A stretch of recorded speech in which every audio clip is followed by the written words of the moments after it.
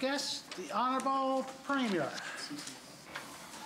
Uh, Well, thank you very much, Mr. Speaker, and welcome back to my colleagues for another uh, week of debate in the legislature, to all those who are joining us at home and all those who are joining us in the uh, public gallery today. Mr. Speaker, uh, I guess uh, allow me the privilege to be the first to recognize in the Speaker's gallery the new leader of the Liberal Party of Prince Edward Island, Sharon Cameron, uh, who was officially announced Saturday, Mr. Speaker, and I welcome her to the legislature. I look forward to the contribution you'll make in the, in the weeks and years ahead. So thank you very much and congratulations.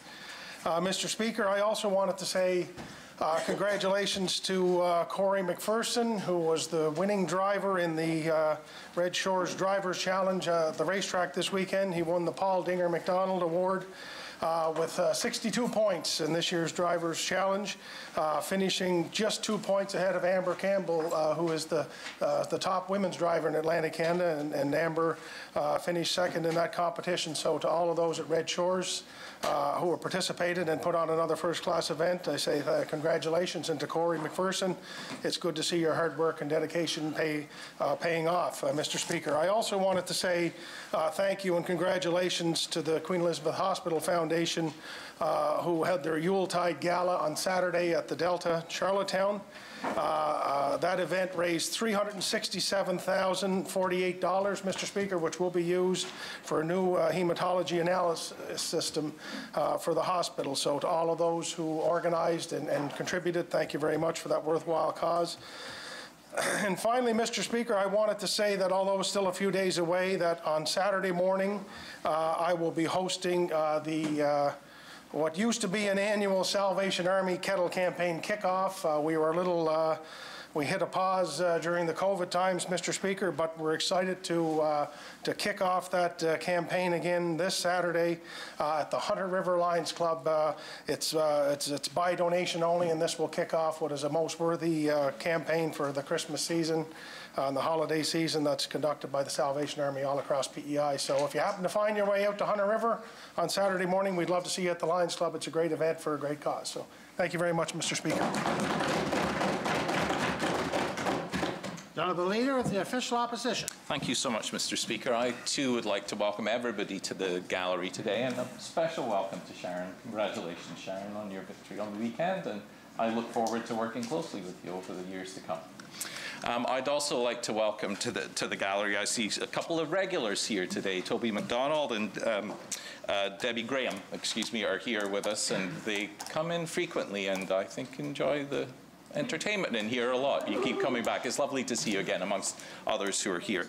Uh, since September, uh, Pauline Howard and Makina uh, and a group of other volunteers have been meeting regularly at, at Makina's uh, commercial kitchen, which she has, and they've been cooking, amongst other things, soups um, using food which is either donated or they have gleaned from somewhere, and they deliver the soup and the meals that they make to the community fridges here, uh, fridge here in Charlottetown and, and elsewhere.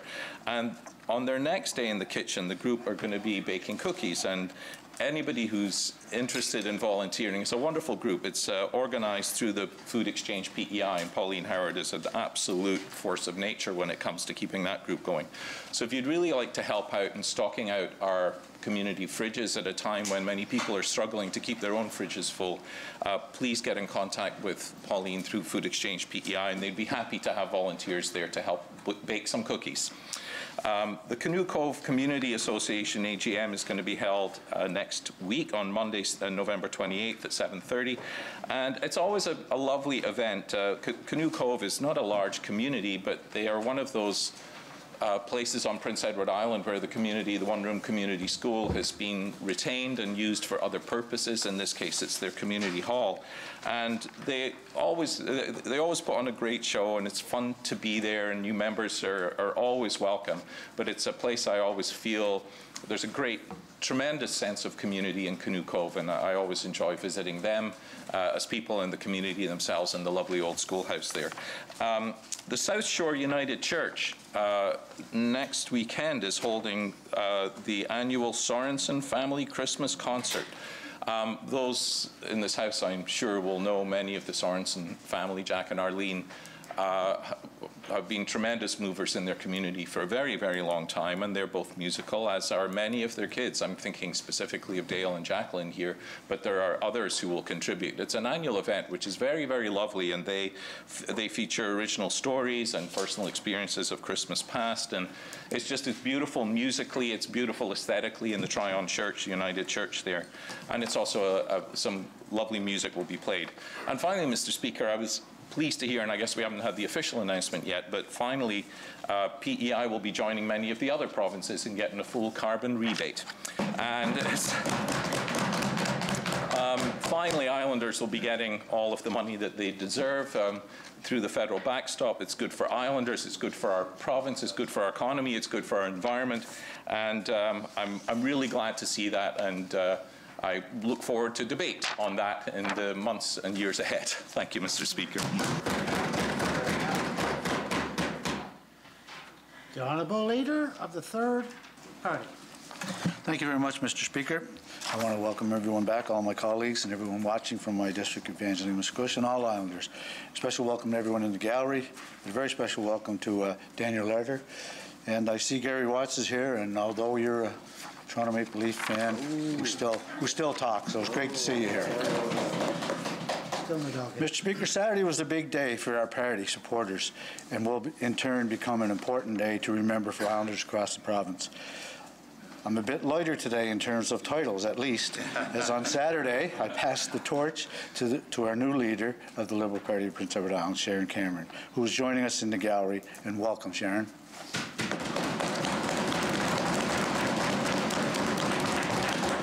Mr. Speaker, I want to congratulate and thank Sharon for her commitment to our party and to all Islanders. The energy in the room Saturday was electric, was electric and infectious as we welcomed Sharon. She has a heart of gold, a brilliant mind, and a can-do attitude, and I, continue, and I can't be more excited to see what she will accomplish in her new role. Once again, congratulations, Sharon, and welcome to the gallery today. Thank you, Mr. Speaker. The Honourable Minister of Social Development and Housing. Uh, Thank you, Mr. Speaker. Um, I'd like to start off by uh, welcoming everybody watching today, especially those in Kensington, Malpeque. Uh, I want to take this time, Mr. Speaker. Uh, I know my parents always watch. Uh, my mom's a faithful watcher, and even my father started watch, which really surprised me because he doesn't have a very long att attention span. So, uh, anyways, I want to say hello both to, to mom and dad, and uh, I want, also want to say uh, thanks to my department, Mr. Speaker. There's a lot of work goes behind the scenes in my department, and they don't get a lot of credit behind the scenes. So, I can't thank them enough for all the tremendous work that that they have done and will continue to do, Mr. Speaker. Today, Mr. Speaker, is National Housing Day, and uh, we know that our housing situation has a profound impact on our overall well-being, Mr. Speaker. Um, I look forward to making announcements in the near future uh, that will directly support creating greater access to housing across Prince Edward Island. So thank you, Mr. Speaker. Charlottetown, Victoria Park. Mr. Speaker, and hello to all my colleagues, everyone tuning in from Charlottetown Victoria Park around the island. Hello to everyone in the gallery. Special hello to Sharon Cameron joining us today. I look forward to working with you. And as mentioned by the minister today is National Housing Day. And uh, the theme this year is everything starts at home. And as we reflect on that, you know, if you don't have a home, where does that leave you? And so I thought I would take this opportunity to simply reiterate that housing is a human right for every person in Canada. Thank you, Mr. Speaker. Minister of Finance. Thank you, Mr. Speaker. I want to rise today to congratulate Cornwall Charlottetown KOA Holiday Campground on receiving the 2023 KOA President's Award and the KOA Founders Award at the recent International Convention in Orlando, Florida. The KOA President's Award is given to campgrounds meeting high-quality standards and receiving high customer service scores from their camping guests. In addition, KOA's Founder Award is KOA's highest service award and is given to KOA campground owners and managers who earned world-class scores in both customer service and KOA quality review. My daughter's first job uh, was at KOA for, for two summers, and it was a fantastic experience for her to learn, and the focus on customer service there was second to none. I want to recognize Cornwall Charlottetown KOA Holiday Campground, their owners, the Gray Group, and General Manager Donna Sentner, along with Abby Center, who is the manager of guest services, who work tirelessly to provide every guest with exceptional service and the best outdoor camping experience in North America. Thank you, Mr. Speaker. Tyne Valley Sherbrooke and the opposition whip. Thank you, Mr. Speaker. It's a pleasure to rise today and say hello to everyone here in the gallery, including Toby McDonald and Debbie Graham, uh, as well as new Liberal leader uh, Sharon Cameron. Congratulations to Sharon. Um, speaking of passing the torch, today the Canada Games Torch Relay is taking place in Tyne Valley uh, later this afternoon. So I wanted to acknowledge the torch bearers that will be engaging in, in the torch uh, relay this afternoon. Melanie Phillips, Erica Wagner, Barb Ramsey DeRoche, Shelley Campbell, Ann Robinson, Rowan Caldwell, Kenley Noy, Jenna Smith, Jared Caldwell, Colin Dillon, Marie Barlow, and Shauna Lee Wisemere. It's going to be an exciting afternoon, and I wish everybody well. Thank you, Mr. Speaker. The Honorable Minister of Education Lifelong Learning, Minister responsible for the status of women. Thank you, Mr. Speaker. It's certainly a pleasure to rise today. Welcome back to all my colleagues. Hello to everyone tuned in online, and thanks to those joining us here in the gallery. And a special uh, thanks to Sharon Cameron for joining us, and certainly a, a big congratulations to you, and I look forward to working with you. Uh, Mr. Speaker, I'd also like to give a shout out to the Community Legal Information and PEI Human Rights Commission for their partnership in creating valuable resources for Islanders. They created two new videos that explain how to identify workplace sexual harassment and what options are available to address it here on Prince Edward Island. They were launched today at the beautiful Charlottetown Library Learning Center, and I have to say it's always a pleasure to participate in events at the new library. For those of you here and everyone uh, listening today, I want to share that the RISE program offers free legal support to victims of sexual and intimate partner violence and workplace sexual harassment. And the SHIFT program and project aims to address and prevent sexual harassment in island workplaces through awareness, education, and free tailored training for employers, employees, high school students, and the general public. So, Mr. Speaker, uh, if you've experienced workplace sexual harassment, if you're an employer looking for more information, please contact the RISE program or the SHIFT project. Thanks, Mr. Speaker, um, for allowing me the opportunity to share these, this information uh, around these important resources for Islanders. Thank you very much. Honorable Minister of Health and Wellness. Well, thank you very much, Mr. Speaker. And Mr. Speaker, it is a pleasure to rise here in the legislature this afternoon. Uh, I want to welcome everybody and say uh, hello to everybody that is uh, watching in online, certainly those from the western part of the province up in District 26, Alberton Bloomfield, Mr. Speaker, and uh, welcome everybody uh, to the gallery here. And certainly, Sharon, great to see you. As it's been said by others, uh, certainly look forward to working with you. So thank you for joining us. Uh, Mr. Speaker, this week, November 20th to 26th, is National Addictions Awareness Week. This year, week spotlight will be on how different communities across the country are helping those in their community. It's about showing how collaborating as a community of care makes change happen. On PEI, we have a strong network of community services for people with substance use disorders. I'd encourage anyone with concerns about addiction to contact the Mental Health and Addictions phone line at 1-833-553-6983 for help or to contact the Mental Health and Addictions Navigator. Thank you, Mr. Speaker. Tignish Palmer Road, Deputy Speaker. Mr. Speaker, I'd like to say hello to all those who are watching from District 27, Tignish Palmer Road, all those who are visiting the gallery today, especially to Sharon Cameron, our new leader. Um, I had said on Saturday, and I'll say it again today, that uh, it was 2011 when I began my political journey, and it was because of a very strong, um, intelligent uh, woman who uh, who was able to relate to average islanders and their needs and, and, was able to engage with them and had integrity. And I look forward to um, sharing the ballot, I guess, in the next coming election with a lady who has very similar similar qualities as that last one. So I just want to welcome her into the gallery and say how proud I am to to go into 2023 with her on the ballot. Thank you. Charlottetown, Winsloe, Government Whip. Thank you, Mr. Speaker. It's always a pleasure to rise and welcome all of my colleagues as well as everyone in the gallery, and congratulations to Sharon. Um, Mr. Speaker, I just wanted to give a quick uh, congratulations going out to the Charlottetown Bulk Carrier Knights. They won the uh, AAA uh, Monctonian tournament this past weekend uh, over, and uh, as a coach of this team when they were also known as the Charlottetown Islanders, um, I do want to say congratulations to a good friend of mine, Luke Beck, for uh, bringing home the title and bringing it back to PEI. So just congratulations to all of the Charlottetown Bulk Carrier Knights. Charlottetown West Royalty, third-party house leader. Uh, Thank you, Mr. Speaker. It's a pleasure to rise and say hello to everybody watching from District 14 and uh, say hello to uh, uh, our new leader too as well, Sharon Cameron.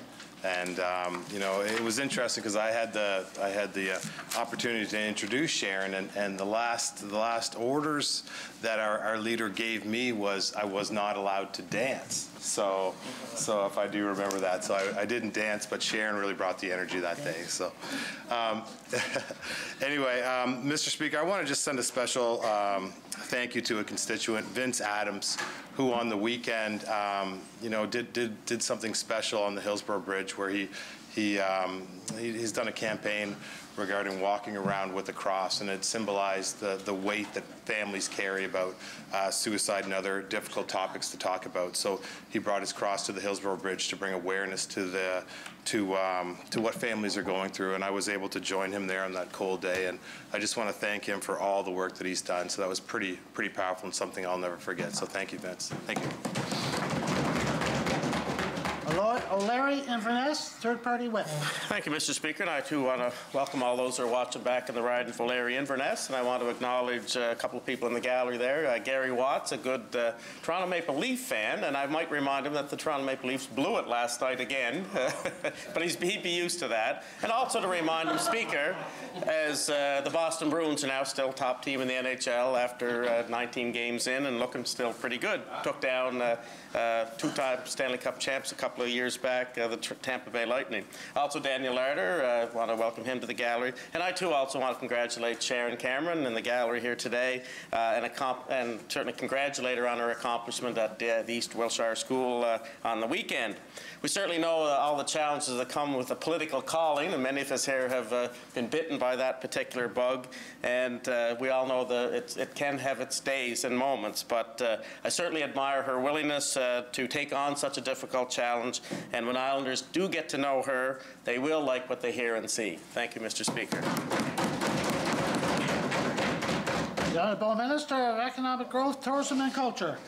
I'll be, I'll be very quick. Uh, I feel like everybody wanted to get up today and wish everybody a good week. I Also like to congratulate uh, Sharon Cameron.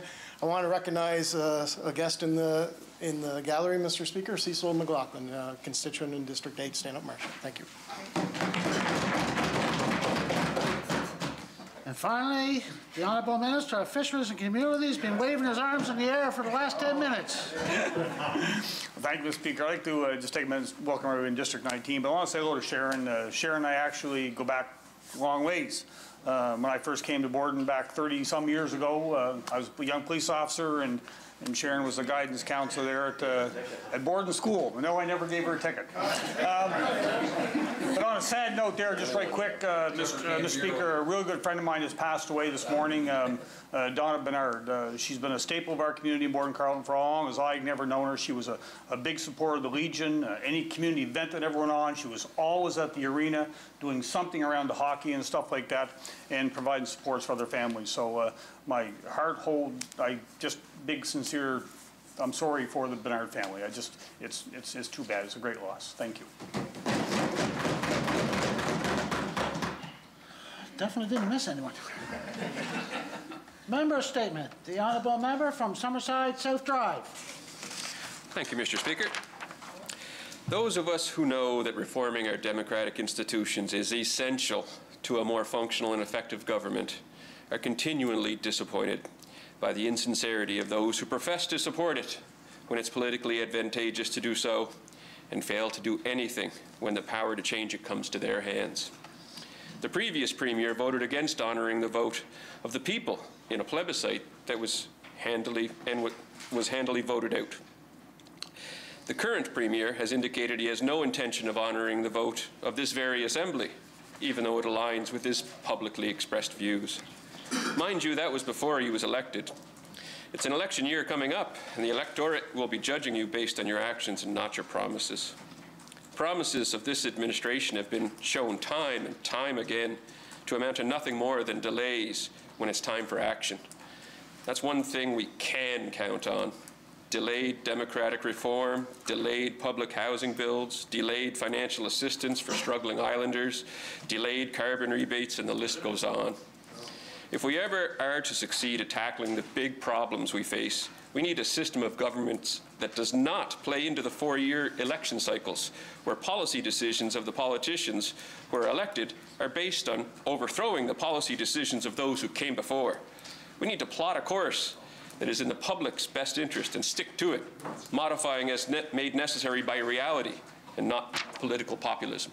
Thank you, Mr. Speaker. The honourable member from Summerside, Wilmot. Mr. Speaker, there are so many cool things happening in Summerside this Christmas, and I wanted to bring your attention to just one of them. Downtown Summerside is hosting the first annual Yuletide Village, which is going to be an awesome family-friendly event taking place over three weekends. It'll kick off after the Santa Claus Parade on the 2nd, with Santa and Mrs. Claus visiting the village to help the city light its Christmas tree, and then it will be held on the next three Saturdays. Veterans Memorial Square is going to be transformed into a Yuletide Village on December 2nd, 3rd, 10th, and 17th. There's going to be a lot going on, like a hot chocolate bar and s'more making kits, with proceeds going to Lifehouse and the Salvation Army, cozy campfires, wagon rides, Christmas sing-alongs, a scavenger hunt, visit from Santa Claus, and so much more. And there will even be a place that you can drop off your letter to send to the North Pole, Mr. Speaker. There will be a winter craft fair on the 10th to pick up beautiful gifts for the holidays. It's going to be a fantastic addition to the downtown area, and I'm sure the whole community is going to love it. Tyne Valley Sherbrooke and, and I are already signed up to volunteer, so we hope to see you there. Thank you, Mr. Speaker. I know once you started, I was getting an invitation. Yes, Charlottetown, Winsloe, and uh, Government Whip. Thank you, Mr. Speaker. Uh, November is CPR month. On average, every 15 minutes, someone in Canada suffers a cardiac arrest at home, at school, in the workplace, at a shopping center, a sports arena, or any other public outing. There's always the possibility that we may be a witness to a cardiac arrest of a stranger, a friend, a family member, or even a coworker. It's imperative that Islanders are able to recognize when someone is in cardiac arrest and make action by calling 911 and performing hands-only CPR, as well as applying an AED. Many of us say that we would help, but when the situation arises, some are reluctant. We doubt our ability to do CPR in fear of hurting the person, or maybe we are uncomfortable doing CPR on a woman or a child. Performing CPR and using an AED doubles the person's chance for survival.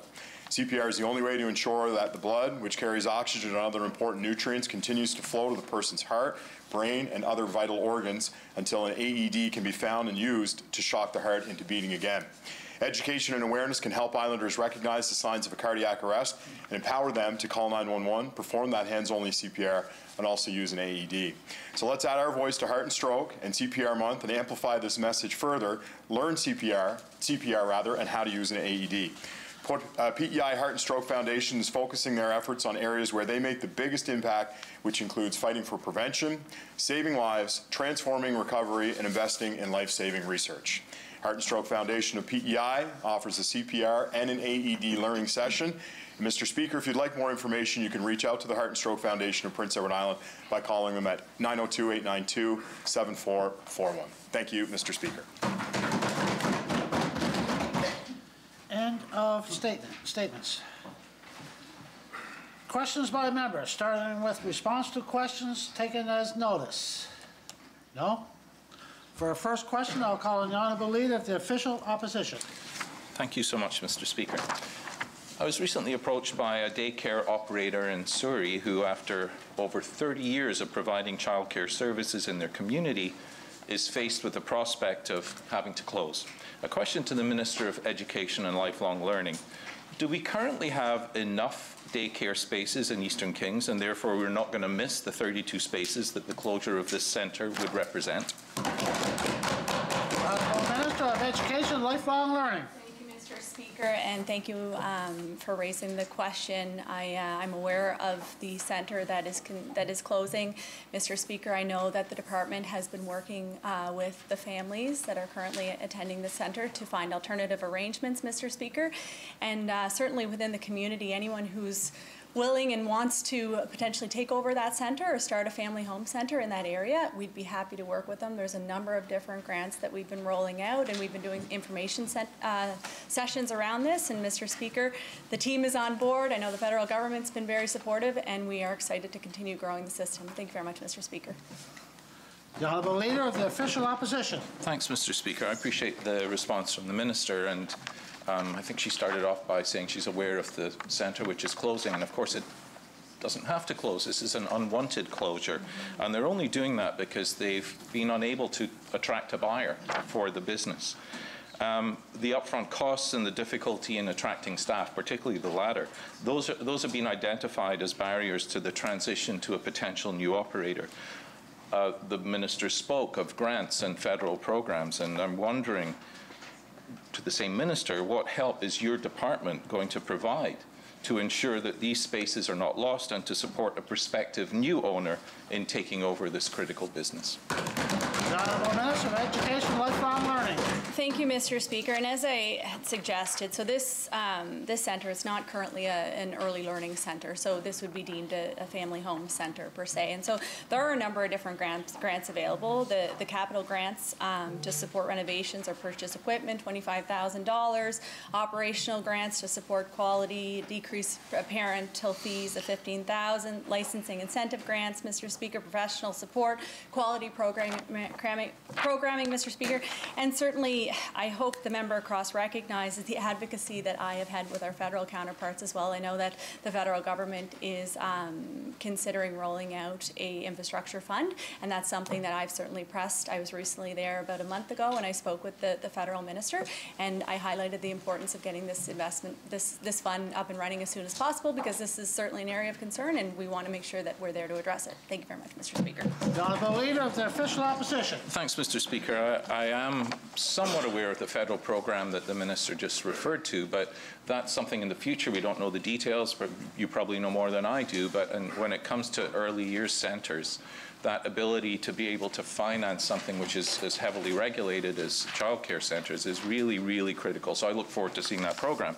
Many of the parents of the children at the daycare centre in Surrey work in critical fields like healthcare. Some have experienced concerns about being able to continue working in their jobs as registered care workers, as nurse practitioners, and as doctors if this centre actually closes. A question to the Minister of Health and Wellness.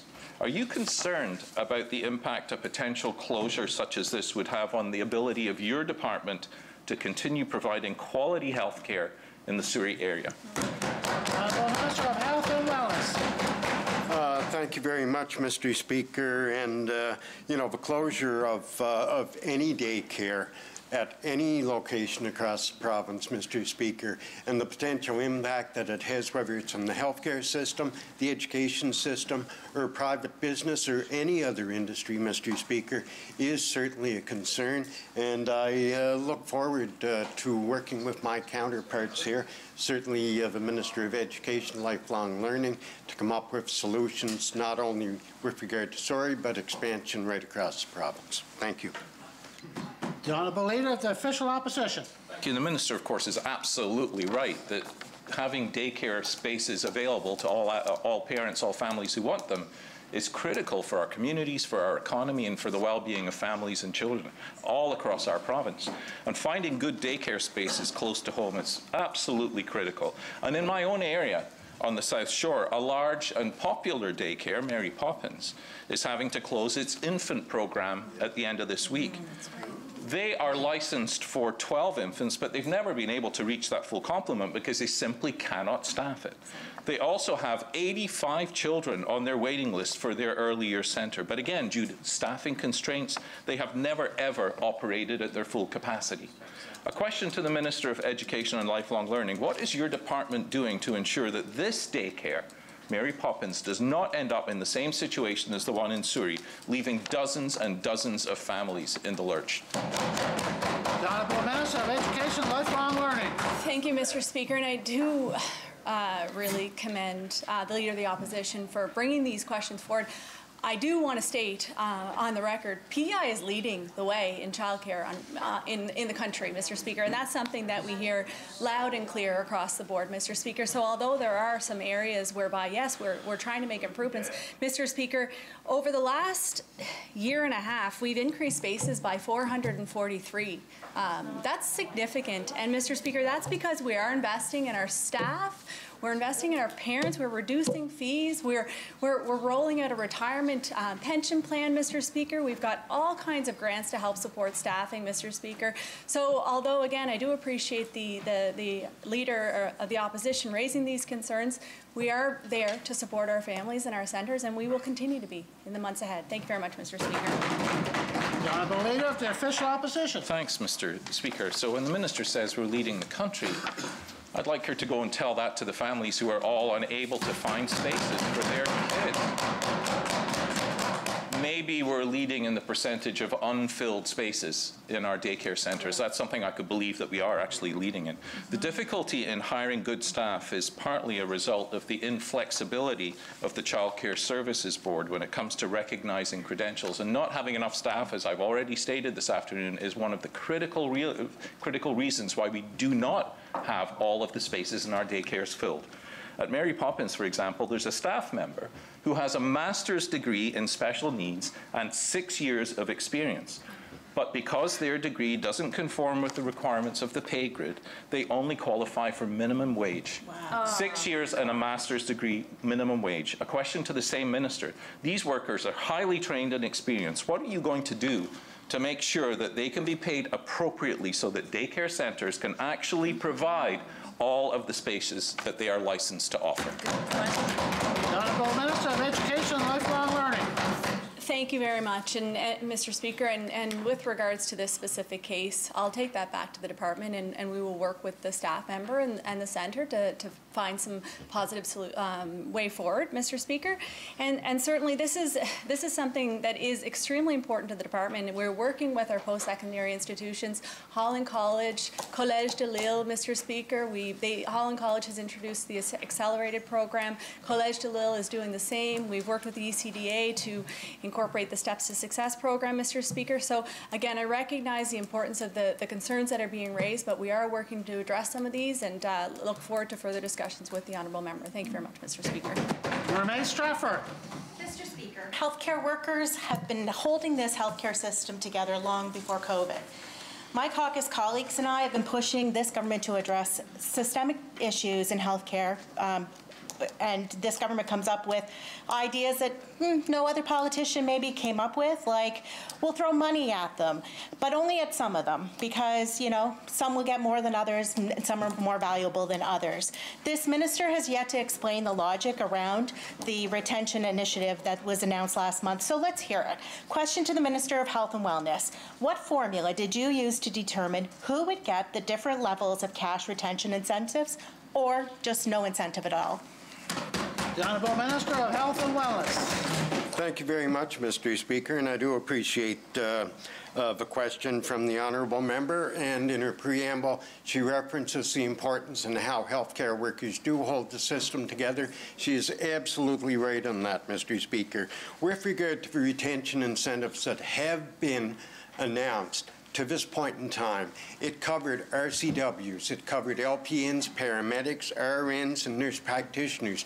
That segment of the front line that are there day in and day out, not saying that they are any more or any less important, but we have major shortages in those areas, Mr. Speaker, and we needed to provide uh, incentives, retention incentives, to keep them there in our system on the island, and also, Mr. Speaker, to encourage ones that are near retirement or recently retired to re-enter and stay in the healthcare system. Thank you. Renee Strafford. Thank you, Mr. Speaker. So psychologists were also deliberately excluded from the retention bonus. I met with the minister regarding uh, mental health services. When I asked about the wait list for counseling services, I was told that the wait list was only for one-on-one -on -one counseling services. So Question to the Minister of Health and Wellness. Do we have a wait list for mental health counseling because we have a policy decision to not hire enough psychologists or because we have a retention issue and cannot retain them? Very much, Mr. Speaker. And with regard to psychologists, Mr. Speaker, our government has increased the number of psychologists in the province. Uh, there has been great success in the recruitment of psychologists, Mr. Speaker, and our government is the government that actually put in place uh, recruitment incentive of $15,000 per psychologist. Thank you, Mr. Speaker. Mermaid Stratford. Mr. Speaker, a paramedic, a registered nurse, and a social worker work as a team on the mobile mental health unit. They all work together, and their skill set should be equally valued. The minister uses all the right words to say how valued they are and how respected they are. But last month, those same teams walked into a press conference, and the paramedic and the registered nurse were shown how valued they are, albeit not equally, and the social worker was told to wait outside because when it really comes down to it, the government's motto is it's about some people. To the same minister, how do you justify that? Uh, of Health and Wellness. As I've said, and thank you, Mr. Speaker, and as I've said previously, Mr. Speaker, that all of our healthcare workers play a pivotal role. Uh, the retention incentives that were announced uh, here uh, uh, three, four weeks ago, thereabouts, Mr. Speaker, I already alluded to the rationale for that first wave, if you like, of retention incentives. incentives. Uh, Mr. Speaker, we will continue to have discussions, to work with uh, our unions with regard to the potential of other incentives. Mermaid Stratford. Mr. Speaker, senior leadership at Health PEI shared that Health PEI was asked by this government to cut $2 million from their proposed operating budget, which meant that some retention initiatives were, were actually cut. Government spent a measly $50,000 on retention efforts for almost 7,000 employees. This equates to less than $10 each. Remember, this is the only retention bonus that many of them have gotten so far. So question to the minister, do you agree that some of our frontline healthcare workers only deserve a $10 thank you? Wow. The Honorable Minister of Health and Wellness. Thank you very much, Mr. Speaker, and I think uh, the, the honourable member uh, alludes to, uh, if I recall, if I heard it correctly, budget cut? Mr. Speaker, our government has increased funding for health care in this great province of ours by 200 million since coming to power.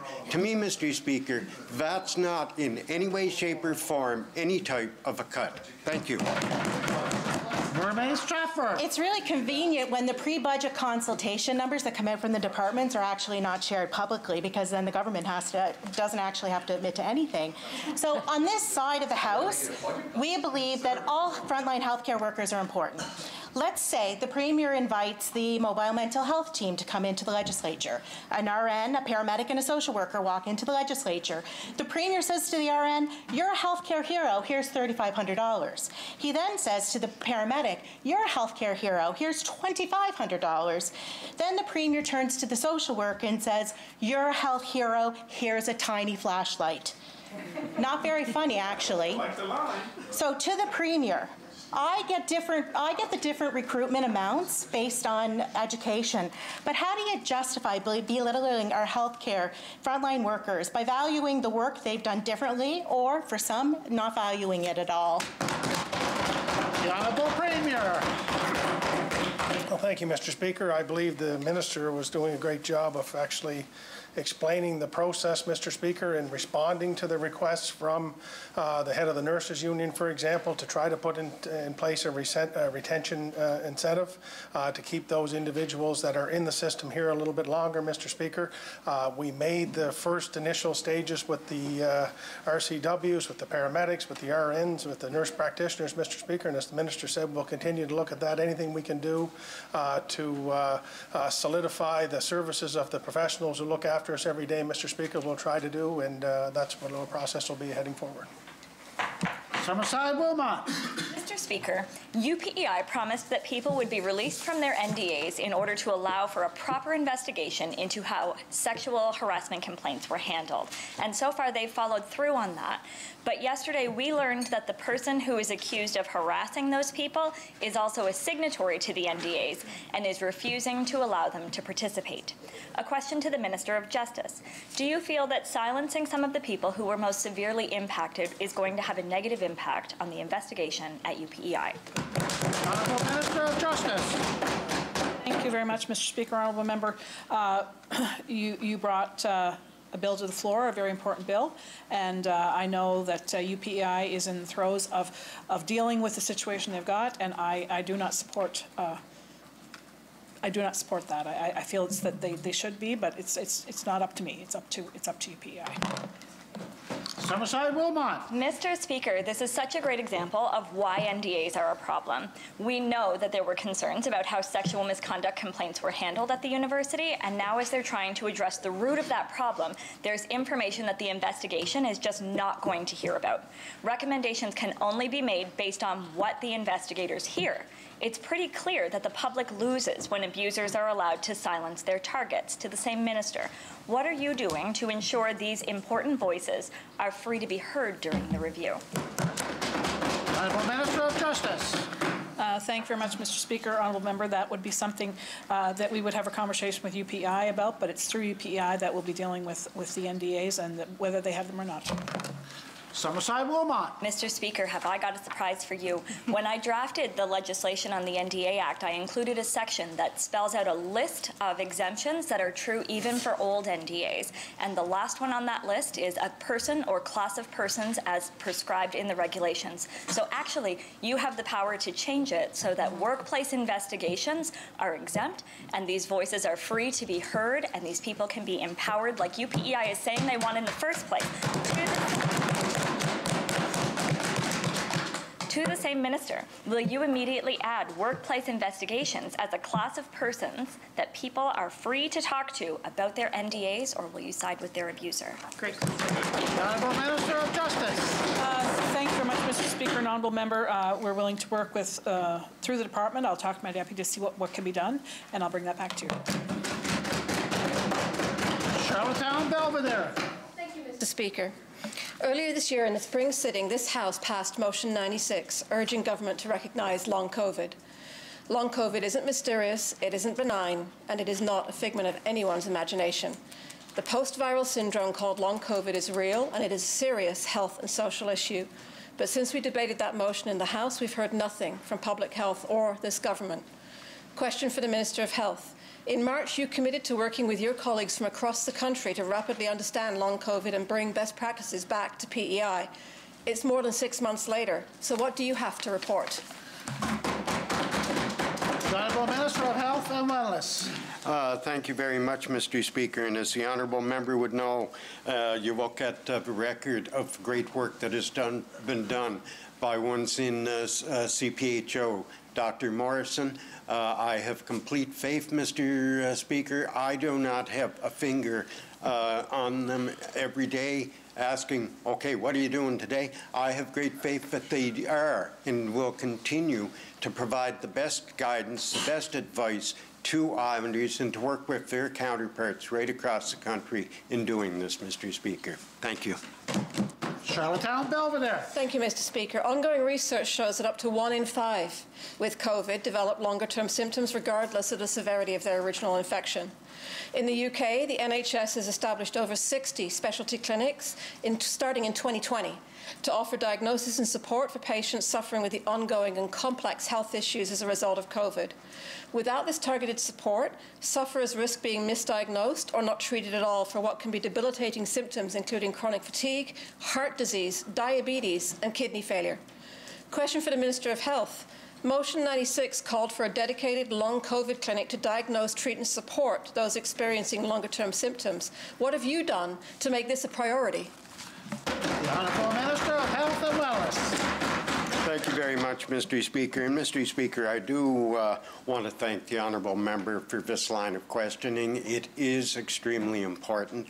Uh, Mr. Speaker, what I will do is go back to the department, go back to CPHO, bring back information with regard to the discussions that have taken place and that will be taking place and that are ongoing, and uh, make that available to my colleagues here in the legislature. Thank you, Mr. Speaker. O'Leary Inverness. Thank you, Mr. Speaker. Uh, Today, we hear the announcement from the federal government that they will be implementing the federal backstop carbon pricing plan in Prince Edward Island on July 2023. Mr. Speaker, this is another example to add to the ever-growing list of failures by this government. They have they have lost their ability to distribute and reinvest in their own provincial carbon tax revenue and create programs and initiatives that are responsible for both an ever-changing environment for islanders who this tax will affect the most. Question to the Premier. Was there a part of your plan that the federal government did not uh, accept or that you didn't qualify for, or did they lose confidence in your ability to transfer funds to islanders? The Honourable Premier. Well, Mr. Speaker, uh, as I've told this legislature many times, uh, we have tried in good faith to negotiate with the federal government to uh, reach uh, an agreement that islanders and Canadians uh, can live with. Um, we have had a carbon pricing system in place since 2015, I believe, Mr. Speaker. Uh, we've had been able to, through two successful negotiations, been able to negotiate uh, some exemptions, Mr. Speaker, to help uh, make life a little bit easier for the consumers in PEI at a time when they don't have any other alternatives uh, for for uh, uh, alternative sources other than those fossil fuel uh, uh, carbon emitting uh, sources, Mr. Speaker. So in our deliberations with the federal government this time, we were hoping to maintain an exemption for home heating fuel. Uh, Mr. Speaker, and, and also the little bit that we have negotiated for tax, uh, for uh, gas and diesel. Uh, and uh, uh, knowing very well that they were going to implement uh, a price on propane for the first time. And uh, we were surprised to turn on the radio this morning and hear that uh, a decision was made, Mr. Speaker. And uh, so I guess, yes, uh, uh, we tried to keep home heating fuel 17.4 cents cheaper. We tried to keep gas 3.4 cents cheaper. We tried to keep propane 10 cents cheaper, and we tried to keep diesel 4 cents cheaper, Mr. Speaker. Uh, and I guess in your mind, if that's a failure, Mr. Speaker, then we failed. O'Leary Inverness. I'd add, Mr. Speaker, that just in the increases of some of the fuel prices in recent weeks, the province would take in an extra two cents a litre just on a 20 cent litre increase, Mr. Speaker. So they've taken in money. The Premier stated last week that they were negotiating a plan for the carbon levy eligibility, but we hear they submitted their plan in the final hour, Mr. Speaker, after co-signing a letter asking for an extension the day before the deadline. Question to the Premier. Did PEI submit a plan that they knew would be rejected, just like Nova Scotia did, or so we can turn and, and blame the federal government after having its hand out for wanting more funds from the federal government? The Honourable Premier. Speaker, we've been negotiating with the federal government for months and months, Mr. Speaker, and I'm not being critical of the federal government, Mr. Speaker. We're, as islanders, we're supportive of carbon reduction, Mr. Speaker. Uh, we used to be ninth worst in the provincial uh, Canadian provinces in terms of emissions. Now we're fourth, Mr. Speaker. So I think that speaks for itself. We've been trying to utilize the funds to invest in islanders and to incentivize them to actually reduce their carbon footprint, Mr. Speaker, which all islanders seem to be very interested in doing, Mr. Speaker. And that's what we were continuing uh, to try to negotiate with, Mr. Speaker. And as I say, uh, you know, we've reached fourth from ninth with having some exemptions in place, Mr. Speaker. Islanders want to get to a better, cleaner future, Mr. Speaker. We think there's a way to do that without adding to the cost, uh, Mr. Speaker, at the pump. But I guess uh, the leader or the, uh, the, the member from uh, O'Leary Inverness uh, thinks the price of fuel should be 17 four, four cents higher for those buying home heating fuel in this, this district, Mr. Speaker. I'd be interested to see what the people in, in O'Leary Inverness think of that, Mr. Speaker. O'Leary Inverness for second supplementary. Ahead, Mr. Speaker. The, the government is still taking in lots of revenue and other forms of taxation through our fuel system. They can could easily negotiate something better. Last week, the Premier was bragging about his plan was the envy of other provinces. But today, we now hear it didn't work out, Mr. Speaker. Will your government continue to be offering programs for heat pumps, electric hot water heaters, Toonie Transit, if you don't have the federal monies to distribute? The Honourable Premier. Well, Mr. Speaker, pretty ironic since it's his party that's taking it away from us that he be asking these questions, Mr. Speaker. But uh, I guess I'd say to the new leader who's here for the first time, good luck. This is what you're dealing with. This is what you're dealing with. Um, uh, so, so, Mr. Speaker, not only are we the envy of every other province, not only has every other minister called this minister and asked, tell me about what you've done, Mr. Speaker, the federal government themselves, Mr. Speaker, stole our heat pump program and announced it yesterday.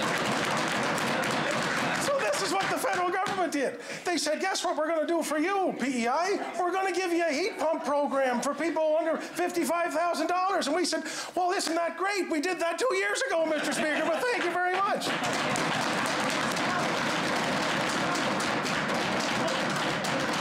Charlottetown West Royalty.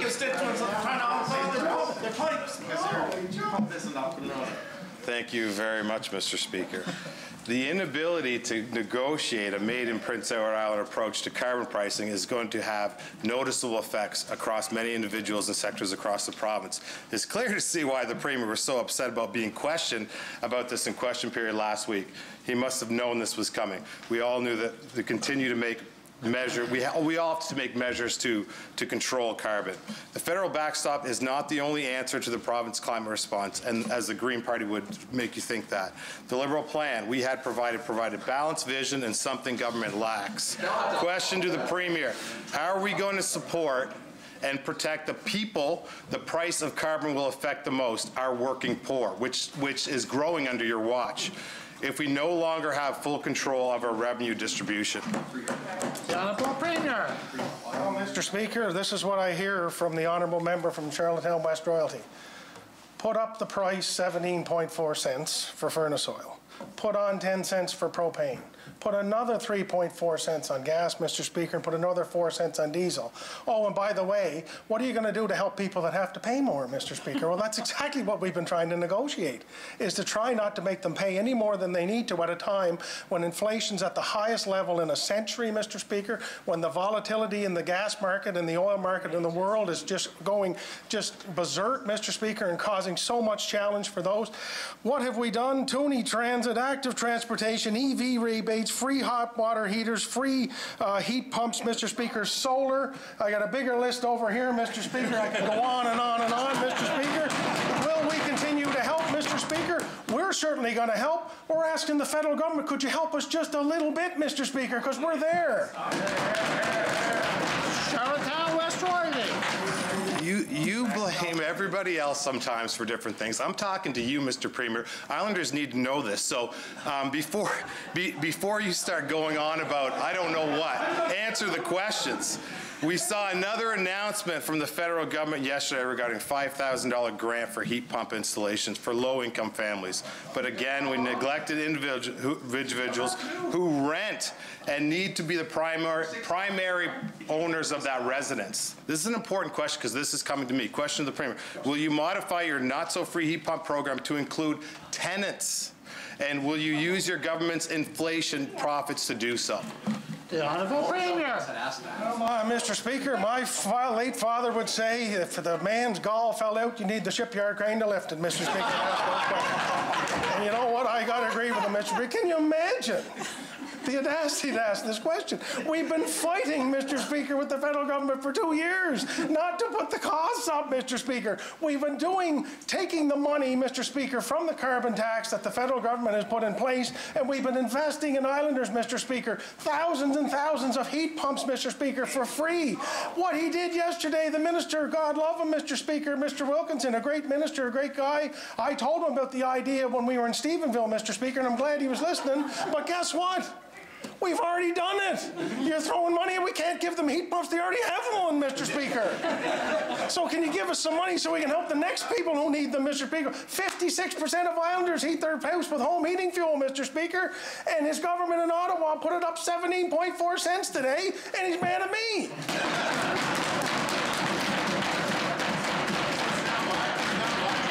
The Honorable Member. The Honorable Member from Charlottetown West Royalty. Score and seven years ago, there was a premier who was good at storytelling, and that was a pretty good one right there. Mr. Speaker, revenues have been carried out to support EV and heat pumps, but we see that the, this, the, the minister wasn't even able to spend all that money. Uh, question to the Premier, why has the federal government re- rejected your plan, and what happens now for Islanders to take advantage of rebates in order to afford transitioning to cleaner energy, something we want to do? Where will those funds uh, go, and will the province incentives be cut? The Honorable Premier. Mr. Speaker, this is the question we've been asking the Federal Minister of the Environment for six months, Mr. Speaker. What are we going to do when we have to displace the funds, Mr. Speaker? We're not sure. But I tell you what, it seems Min- Minister Wilkinson seems to be interested to work with us, Mr. Speaker, even though they're going to try. They want to pay for all the heat pumps that we've already installed, Mr. Speaker. But listen, he's got some money there that he wants to help. He's a good man. He's genuinely interested in trying to help. So we're going to meet with him, the minister and I, and chat to him and see if there's a way that we can take the program we have and expand it. But I'll tell you what, Mr. Speaker, from day one, from day one, Mr. Speaker, when the former government wanted to give people licenses, driver's licenses, and registrations, Mr. Speaker, we said, I don't think that's going to do much to save the environment, Mr. Speaker. So we changed that faulty program. We've invested in heat pumps. We've invested in EV rebates, Toonie Transit, active transportation, solar, hot water heaters, insulation, Mr. Speaker. It goes on and on again. We collected $32 million from the carbon tax, Mr. Speaker, and last year we spent 70, Mr. Speaker. Thank you ハハハハ!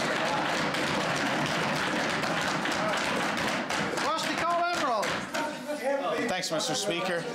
So, Mr. Speaker, um, uh, three, three weeks ago, I stood in this House and talked about the significant shoreline debris on the North Shore as a result of Hurricane Fiona and the need to clean it up as soon as possible. Um, the minister responsible said that surveying was underway, a crew was in place, areas were being identified, and the program details were being finalized. However, Mr. Speaker, I'm getting reports uh, from my constituents that places like New London Bay and Rustico Bay, um, other than the amazing efforts of our fishers, cleanup has not even started. So a question to the Minister of Fisheries and Communities, what is the status of shoreline cleanup efforts across the province, especially on the North Shore? The Honorable Minister of Fisheries and Communities. Well, thank you, Mr. Speaker. Um, Cleanup has started. We have crews out there on the ground. We have contractors that are on, on, on call, on call. The contractors are, are identifying the areas, they have identified the areas, and they're working along to get each area taken care of as they're prioritized. There was supposed to be actually an airplane go up yesterday and do a further in-depth survey, however, it was grounded due to the winds. The work is ongoing, Honorable Member. Rustico Emerald. Well, thank you, Mr. Speaker. It's great. I'm glad he's doing more surveys, getting planes in the air, but we need action on the ground, on the North Shore, and we're not seeing it. Mr. Speaker, so the, uh, the PEI Coastal Property Guide released in 2016 and the new PEI Climate Adaptation Plan both offer advice to property owners regarding shoreline protection. Uh, with regards to helping repair damage to uninsured property, the former tells property owners you shouldn't count on it. However, it also acknowledges that most island beaches are public property, and the new climate ad adaptation plan states it does not recommend as a first alternative the use of shoreline stabilization along PEI's perimeter coastline. So it's my understanding that there is funding set aside for shoreline property damage. A question to the Minister of Environment, Energy and Climate Change.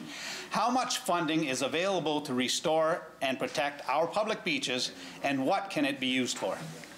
The Honorable Minister of Environment. Well, thank you, Mr. Speaker. I think with our climate adaptation strategy, what we're trying to do is look forward and say what are the things that we can do as, as we move forward and what should be allowed along, along the shoreline. And, and uh, the member from Morell Donagh and I had this uh, debate question period here last week where I said, you know, maybe in some cases you won't be allowed to build as close as, as you did before. Uh, as far as what money is uh, available, at this point, there's no money available from my department to do shoreline restoration. What we're looking at is whether or not there should be, and if it does, should it be natural, how it should be, be uh, done in the future, and where it should be done in the future. Thank you, Mr. Speaker. Rusty Cole your second supplementary. So, Mr. Speaker, what I'm hearing is, is, a, is a lot of talk about climate change ad adaptation, but we actually need action to happen on the shorelines to protect our shorelines. We've got private owners that are adjacent to public beaches. Their land has been devastated in Fiona. They're worried about storm surges this winter. Another question to the Minister of Environment, Energy and, and Climate Change. Um, what are you going to do to help protect our private, private public beaches and the private lands that are adjacent to them? Honorable Minister of Environment. Well, thank you, Mr. Speaker. I think it's common knowledge in the climate uh, change file that beaches will be lost or forever changed. We saw that on the North Shore under Fiona, that uh, some of the beaches were devastated, and they may never come back, or they may never at least come back in our lifetime. Who really knows? Uh, As far as, as the people who have built along uh, the shoreline, as I said to the Leader of the Opposition here last week, the the recommendation has always been in some of those areas not, not to build there. So uh, obviously, there's people who, who ignored us. And I think it's one of the, the single biggest risks we have in, in climate change in the world is that people have built in places that they shouldn't have, either in, in floodplains in major cities that turned into huge developments that will become floodplains again, and here in Prince Edward Island along our coastal uh, shoreline where, where it has been long rec- recognized that the, the shoreline will change, the floodplains will grow, and maybe you, you shouldn't necessarily build in that spot. So, long, long answer short, our, our plans are going to be to put definitive action on paper to say, here's what you can do, here's what you can't do, because people aren't listening. Thank you, Mr. Speaker. Rustico Emerald. Well, thank you, Mr. Speaker. Uh, This is no time to give up, Minister. You're the Minister of Action. We expect, expect things to happen. And, Mr. Speaker, action number 22 of the new Climate Adaptation Plan includes, I quote, "develop a program to support nature-based solutions to erosion and flooding for lower-income individuals." Question to the Minister of Environment, Energy and Climate Change. Is it your position that shoreline armor- armoring should no longer be allowed? The Honourable Minister of Environment, Energy and Climate Action. Thank you, Mr. Mr. Speaker. I- I'm not sure if that's my position. I think what my, my position is, is that we need to get the expert advice, wh- whether it's from both our own department, the Climate Adaptation School at UPEI, and whatever other experts we have uh, around shoreline protection on Prince Edward Island, come up with a policy that's a suitable policy. Um, What I said last week was that we, we protect our own assets with Ar- Armor Stone, so it'd be a, a little bit rich for us to say, hey, we, we're going to protect the Hillsborough Bridge like this, but you can't protect. Uh, so I think we have to have the plan that's right. But I think anybody in, in my position would say, where possible, protecting with a natural barrier is is much better. And I think the the Stratford Watershed Group had uh, a living shoreline that they've they've worked on that was quite successful over there. And I think we have a lot of uh, lessons to draw from what they've done and what might work in other parts of Prince Edward Island. Thank you, Mr. Speaker. Rustico Emerald. So, Mr. Speaker, your action plan says you're doing living shorelines. You're saying you are supporting shoreline uh, armoring. I'm a little confused, uh, but let me ask you another question. In the wake of Hurricane Fiona, property, um, many property owners are acting now. They're acting right now, Mr. Speaker, to protect their shoreline with the goal of protection from further erosion of weakened shores from winter storm surges. And another issue that I've been hearing of, and it's been alluded to in this House before, is some landowners uh, may, may become even more vulnerable because their neighbors have the financial resources to use shoreline armoring for their property, which may cause even more damage to their neighbors in a future weather event. A question to the Minister of Environment, Energy and Climate Change. What legislation and regulations exist to prevent shoreline armoring in one spot that negatively impacts neighboring properties? The Honourable Minister of Environment. Thank you, Mr. Speaker. So there, there's nothing that, that would protect the adjacent shore, shoreline. I think it's the, it's the crux, it's part of the crux of the Point Roche argument is that if you look at the pictures post Fiona, it's really accelerated the, the, uh, the erosion next to it. And that's what armoring will do in places that have it that the, the neighbors don't. So we, it's a policy that we have to get right. So this is the policy that I talked about last week that we have to determine what happens if only one person wants to do it and the others can't afford to do it. What happens, should we allow it at all? Should we force people to pull back? Like what are we going to do to, to best protect Prince Edward Island from climate change? And, and I don't know the answer, but we, because I'm not the expert in it, but I, unlike the Liberal government, when you were here, I'm going to rely on experts. Thank you. Thank you, Mr. Speaker. And, and Mr. Speaker, my, my constituents are, are looking for solutions. They want to do the right thing, whether they're seasonal residents, cottage owners, or live right there year-round. And last week, the Trout River Environmental Committee, the TREC, uh, it's a watershed group, in conjunction with the Stanley Bridge Sterling Women's Institute, they held a really great meeting uh, on coastal erosion and Fiona. The Climate Lab was there, did a great presentation. Over 50 people attended to hear excellent, excellent information but most seem to leave with more questions than answers. Answers I think the province can provide regarding climate change adaptation, especially with respect to shoreline restoration and protection. So question, question to the Minister of Environment, Energy and Climate Change. I want to work together with you. I want to educate the people in my district. I want to make progress. Will you commit to holding an information session and workshop on the North Shore as soon as possible, led by the climate change experts from your department? Honourable Minister of Environment. Yeah, Mr. Speaker, I think that's a great idea. So, yeah, I will commit to that. I will co- commit to sending the, our experts out to meet with the people that are concerned in your community. I think it's great that so many people would show, would, would show up to a meeting that were so concerned and want to do, do uh, something to make PEI better. More, as a matter of fact, than showed up at the Liberal leadership this weekend. Thank you, Mr. Speaker. Charlottetown, Victoria Park. Thank you, Mr. Speaker. A question to the Minister of Health and Wellness. Just in general, why do we have inspections and why are they important? Honorable Minister of Health and Wellness. Uh, Thank you very much, Mr. Speaker. And uh, uh, the honorable member, it's a very uh, broad question, certainly. Why do we have inspections and why are they important? Uh, Maybe the honorable member could give some more specifics to that question, Mr. Speaker. Thank you. Charlottetown, Victoria Park. Thank you, Mr. Speaker. McDonald's, McDonald's, Wendy's, or any other food establishment offer similar services. As a consumer, I would assume that they undergo similar inspection processes, which are carried out by similar inspectors. Question to the minister: Would you agree with that? Why or why not? Why or why not? Health and Wellness. Uh, Thank you very much, Mr. Speaker. And, you know, I'm not uh, an expert on inspections, food inspections, or any other type of inspections, but I am a consumer, absolutely. Uh, Mr. Speaker, though, if the honourable member, and I do uh, appreciate, uh, I think, where the honourable member is coming from, but if the member could provide some exact uh, uh, parameters, if you like, to the question that she is asking, I would certainly be happy to go back to the experts and get the answers. Thank you, Mr. Speaker. Charlottetown, Victoria Park. Thank you. Let me get a little more specific. So right now, private long-term care and community care homes are inspected every year by independent inspectors, and they are subject to surprise inspections. They are legally required to make the changes within a designated amount of time. Meanwhile, our government long-term owned long-term care homes are peer accredited. Once every six months, they know it's coming. This boils down very simply. Private is held accountable, government is not. Question to the minister. Why do public care homes have much looser inspection requirements than private homes? Well, thank you very much, Mr. Speaker, and I'm glad that at last we've got to the crux of the question, of the issue here after four questions, Mr. Speaker. Uh, Mr. Speaker, she is absolutely right. The private long-term care homes are inspected by an independent board.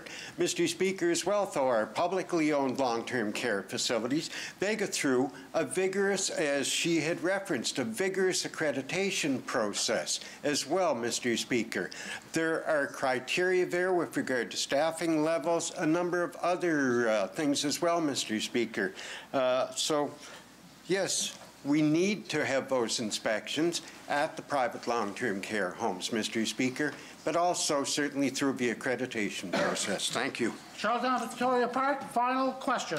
Mr. Speaker, and I'd like to correct myself. It's not six every six months, it's every six years. You are only expected, inspected once every six years. So why is, is it good for, why is, not, what's not go- good for the goose is not good for the gander? I didn't get that right, but you know my point. We found out in committee meetings that government-owned homes were meeting, quote, "standard levels of care."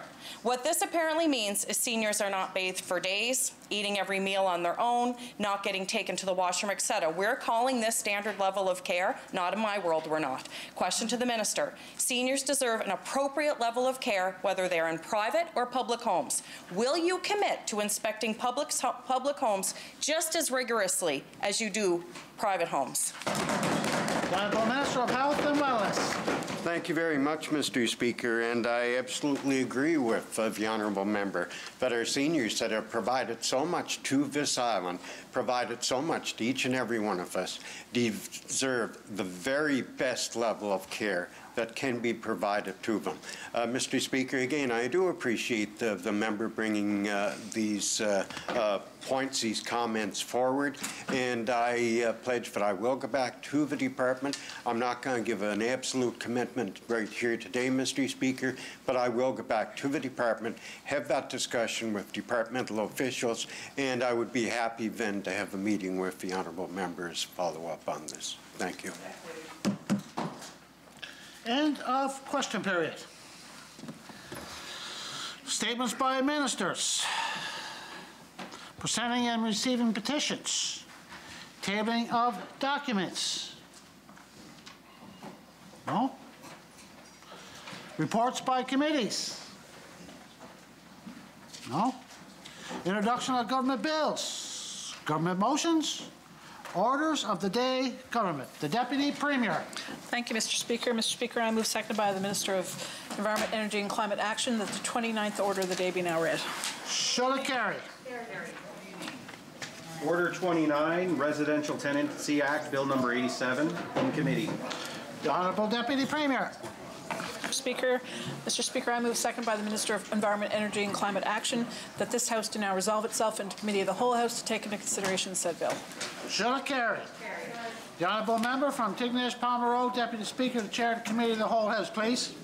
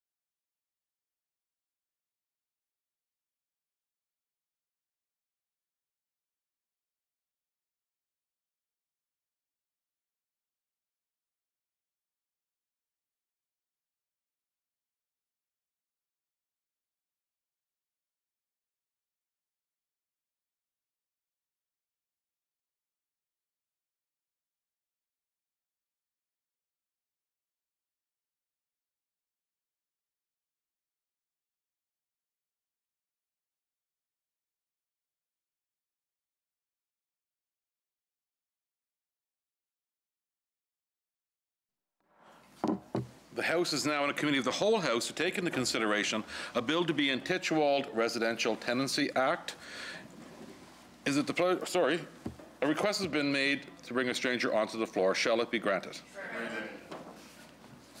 Honourable members, we left off on page 11, section 16, and it is currently under debate. Would you please state your name and position for Hansard? Certainly. Vernon McIntyre, Legislative Coordinator for Department of Social Development and Housing. Thank you very much and welcome back. So, um, are there any questions on this section? Further questions? Shall it carry? Honorable members, we had put section 11 on hold. There was an amendment that was going to come to the floor. Apparently, the amendment's not coming now. So, shall section 11 carry? Carry. Let me go back. Get it.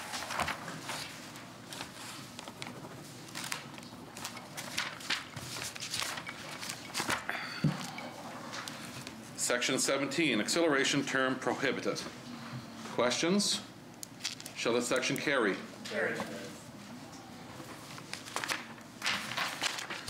Section 18, inspection at start of tenancy. Charlottetown, Victoria Park. Thank you, Chair, and welcome back, Vernon. Um, I'm just wondering if you could elaborate on what is meant by the term approved form and uh, kind of what, what inspections that will include. Sure. So an approved form would be a form um, put together by the director's office or the director. Um, It'll, so it'll be work done after the act uh, is uh, passed. And it would outline what has to be included in the inspection itself.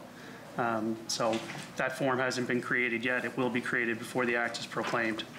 Charlottetown, Victoria Park. Thank you, Chair. And I'm just trying to get a sense of what specific issues are being raised at IRAC that we're hoping um, this addresses. But I'm wondering if you've spoken to IRAC about post-tenancy disputes as it comes to conditions of units.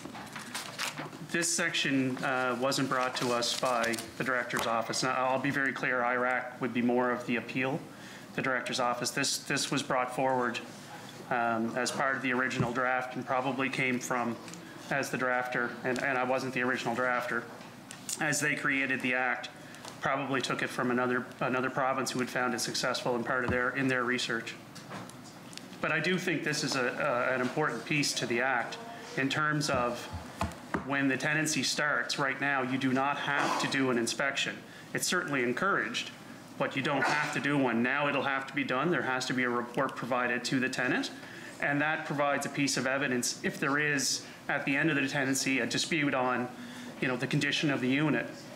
Um, This report will provide a piece of that, that the director can look at to say, okay, well, we've got a report here that was, that was done with the tenant and the landlord together. They both signed it to say, yes, here's what the condition of the apartment was, and now it appears to be the same or different. Charlottetown, Victoria Park. Yeah, thank you for that, and I, I think that that's, that's really a, a really good addition. Um, we've heard a lot of stories of, of people whose, the damage in their apartments were kind of put on them and dispute on whose, whose fault it was and, and that sort of thing. So I'm wondering how these inspections account for reasonable wear and tear. Again, I, I- you know, to get into a specific unreasonable wear and tear, the director's office, when they hear the evidence, if there is an appeal based, or sorry, an application based on that, um, you know, the director would look at the evidence and based on, you know, past decisions they've made, they would make that decision. Charlottetown, Victoria Park. Thank you, Chair, I'm good for that section. Shall the section carry? Carry. Section 19, tenant shall pay rent when due.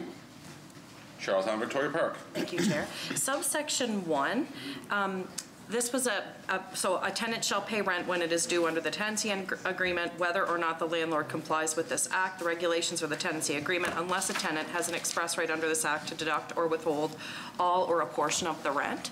Um, And this was a big issue after Fiona. A lot of tenants um, who, especially those who couldn't live in their units anymore due to the destruction there, they weren't sure whether they should pay their rent or not. Um, How is the province intending to communicate thi- this requirement to the public? Well, so I wouldn't be able to speak on specifics of Fiona. I haven't spoken to the director's office in terms of, in terms of that. Um, In terms of how this would be, the thought is that we don't want tenants and landlords getting into a direct confrontation. Um, We want them to work through the director's office to file an application for, um, for a decision, or for a decision from the director on how this should proceed. And that's the, uh, one of the, uh, you know, basic concept of this act is the director's office provides that rental court. We don't want people trying to take the law into their own hands and say, you know, I'm going to do this or I'm not going to do this. Um, It's better to go to the director, provide the information, and let the director's office provide a decision. Charlottetown Victoria Park. Thank you, Chair, and thank you for that. And I'm just looking at subsection two, um, where it says that a landlord shall provide a tenant with a receipt for rent paid in cash. And I'm just clarifying that in cash means physical money. Yes. Charlottetown Victoria Park. Thank you, Chair. And what kind of receipt does this subsection mean? Is it, a- is it a paper document? Or is it like, can it be sent as a simple text message? Uh, I don't think it clarifies what that is. Uh, I'd have to get back to you for more information. Charlottetown Victoria Park. Okay, I just have a couple more questions here on this, and then I'm good. Um, So I'm looking at clause 4B. Um, In, in what sorts of situations would a landlord be given permission to seize a tenant's property? It wouldn't be under this act. Um, I I don't think there's anything in this act that talks about a landlord seizing a personal, a person's property.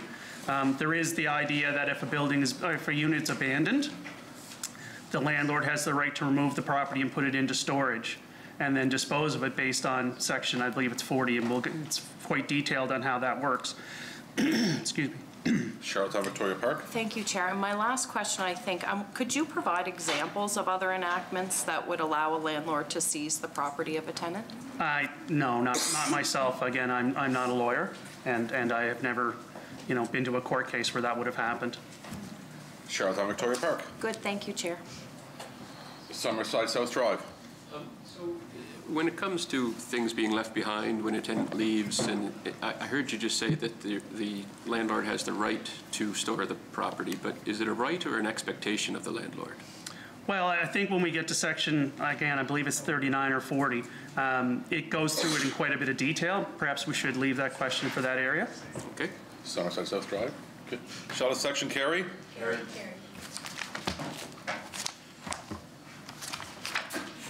Section 20, prohibit fees during tenancy. Charlottetown Victoria Park. Thank you, Chair. Um, In subsection one, a landlord cannot charge a guest fee. Um, We've heard from, of some landlords who try to restrict the tenant's ability to have guests over to stay the night. Um, And we know that, that landlords can't charge an additional fee for that. Are- But are landlords it permitted to ban guests in the first place? I don't believe so, but I would have to go back to the director's office to see if there are situations where it is allowed. Charlottetown Victoria Park. Thank you, Chair, and I really appreciate that bring back because we've heard um, quite a few cases recently where that is the case and, and would love some, you know, some, the clarity around that. Thank you. Um, I'm wondering for subsection two, can you explain how C and D are different? So C and D are different in that the service fee charged by the financial institution, so if the financial institution charged a service fee to the landlord of $25, um, that's the fee charged by the service, by the, by the bank itself or the financial institution. Um, The administration fee would be to pay for the landlord's staff time to reprocess uh, the payment from the tenant. And that can be up to $25 as well. Charlottetown Victoria Park. Thank you, Chair. Um, So Clause 2E, a fee for services or facilities requested by the tenant if those services or facilities are not required to be provided under the tenancy agreement. Um, Is there any requirement that the fee for providing these services or facilities be proportionate to the cost to deliver them? This is a pretty rare, I mean, again, this act is very, um, it's very long and deliberate in terms of, you know, laying out things that used to be based in common law or contract law. When you look at a fee for services or facilities requested by the tenant, if those services or facilities are not required to be provided under the tenancy agreement, I mean, again, I can't think of a situation that I've heard in any of the discussions where that would come up, so I'm really not sure how that would be done in terms of, you know, I'm really not sure how that would actually apply. Charlottetown Victoria Park. Thank you, Sharon. So just my last question, then I was going to ask about what kind of services might be included in the regulations, but it kind of There's nothing, there's nothing in consideration right now. Again, that's a cover, you know, um, to cover off the situation that may come up down the road on this piece of legislation. If, if, if a fee to be charged by landlord um, was to come forward for consideration, that would allow the, the powers to make a regulation in regards to that. But there's nothing in consideration right now. Charlotte Section Carry. Carried. 21, terminating or restricting services or facilities. Charlottetown Victoria Park. One question here, um, in subsection two, uh, who makes a determination that the reduction in rent is equivalent to the reduction in the value of the tenancy agreement? The director would. Okay. Thank you. Shall the Chair. section carry? Carry. Section 22.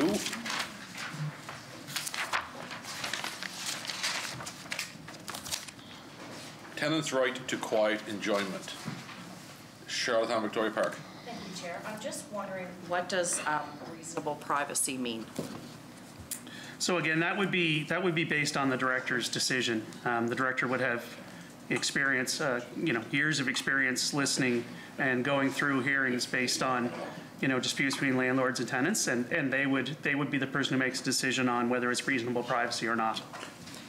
Charlottetown Victoria Park. Thank you, Chair. And would this extend to things like the creation of bad tenant lists? Uh, I wouldn't be able to say that, member. We'd- I'd have to ask the director if that was something that it would consider. Charlottetown Victoria Park. Thank you, Chair. Um, So we've heard from stakeholders and different organizations who are looking for stronger language around freedom from harassment and discrimination. Can you explain why that language isn't in here? Certainly. So to start with, I mean, it comes down to when I draft, I get, you know, I receive legal opinions um, as part of the drafting process. Um, And in the opinion that I received on this request, and we certainly took it to, to legal to discuss, um, that it was, that this, the idea of, I believe they, you know, wish to add harassment and discrimination. Um, From what we kind of heard, that if a prospective tenant feels they've been discriminated against, that human rights would be the correct remedy. Um, And if they're being harassed, that that would fall under re- unreasonable disturbance. Charlottetown Victoria Park.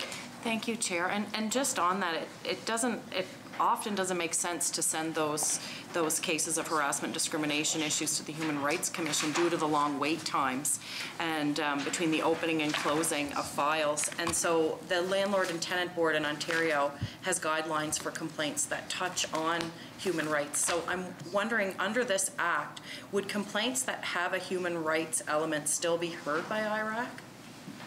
I would have to go back and ask them. My understanding is that, that this section is, is fairly clear. It's harassment and, disc- or sorry, that harassment and discrimination would fall under human rights. That's why it's not specifically mentioned.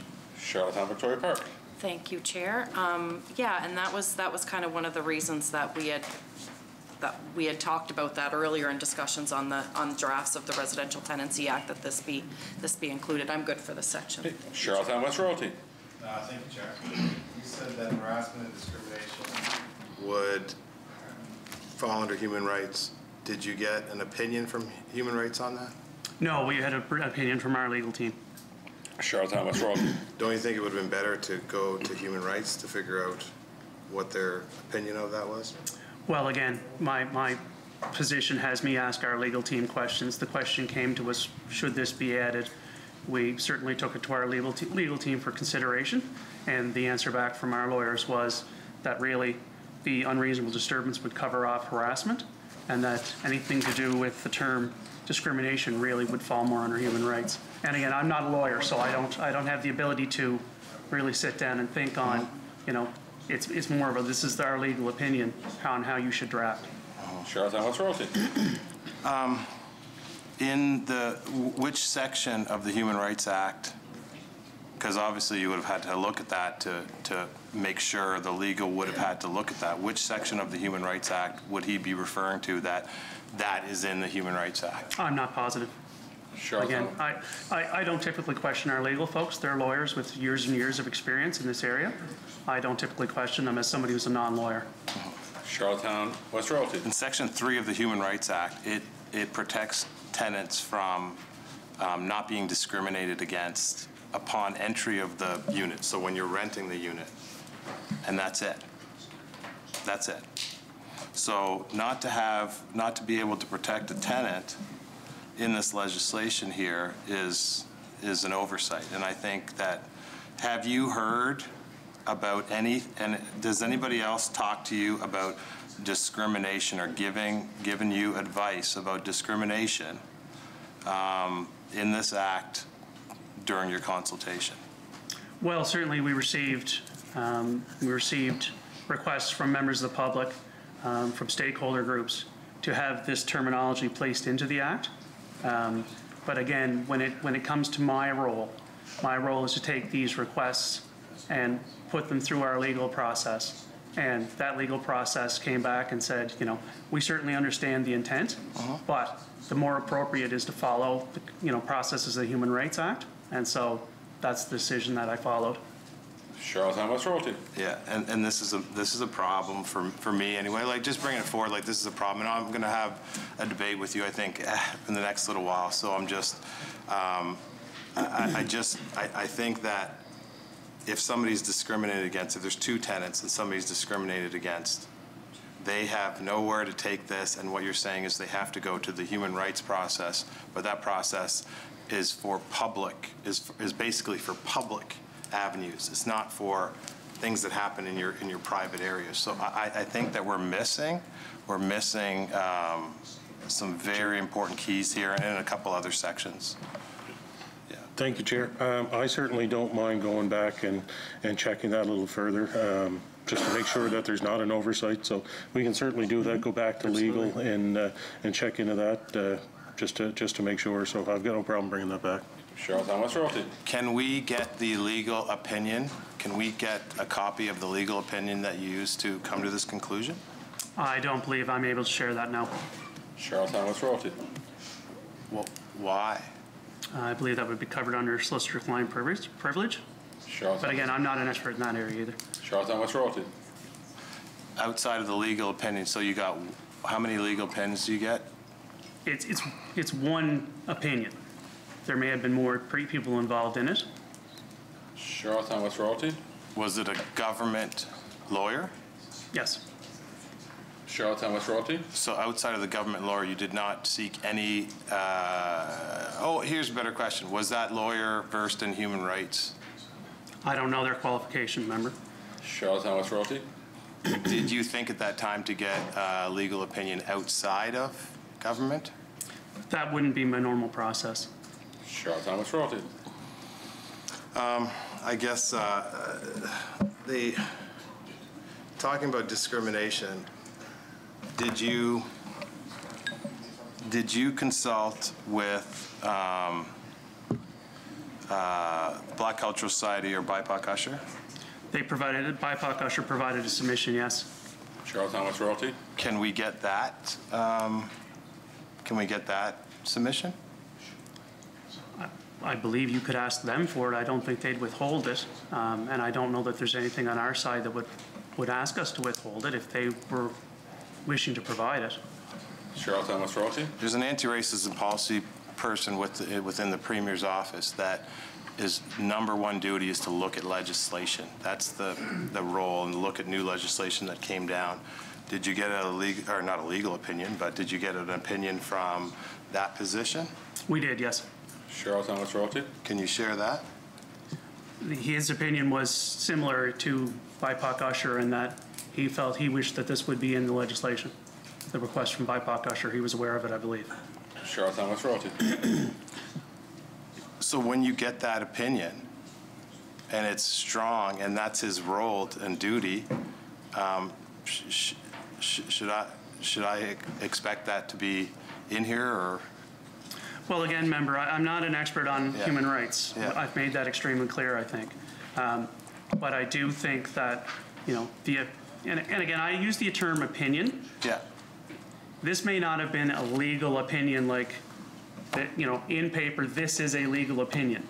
But in the discussions that we had with our legal team, they were quite clear that when we spoke of discrimination, we were starting to cross from an agreement between landlords and tenants into an area that is covered by the Human Rights Act, and that legislation should not bleed into other legislation, that if it's covered somewhere else, um, I, I, you know, so that's what I'm working from, is this, this basic tenant that, you know, tenant, the basic concept that um, landlord, or sorry, you know, when you have an agreement between landlord and tenant, that's contract law. This provides greater clarity, this act, on that contract law. But when you speak to something along the lines of discrimination, and I certainly understand how important this is, um, but when you get into that, that we try and keep legislation from bleeding over. Um, So that's, that's the process and the concept that I'm following drafting the legislation, is that, now, as the, as the minister said, if, if there's a position um, that we can seek from another person or another group to make, to ensure that that is true, that this does bleed over and that there is a process in that act or there is not, uh-huh. that's something we can certainly discuss and look at. Sure, Thomas Rowe. And, and- and I think it does bleed over, because I'm looking at an example in this own, in, in this own legislation. Under, in section 56, family violence has the same meaning as Victims of Family Violence Act. So, I mean, that, that's not a bleed over, that's a, that's a, that's a pullover. you That's know? a very different look at that. That section is very different than this section, member. Charlotte Thomas Rowe. That's just providing a definition to say if you want the definition of family violence, look to this one.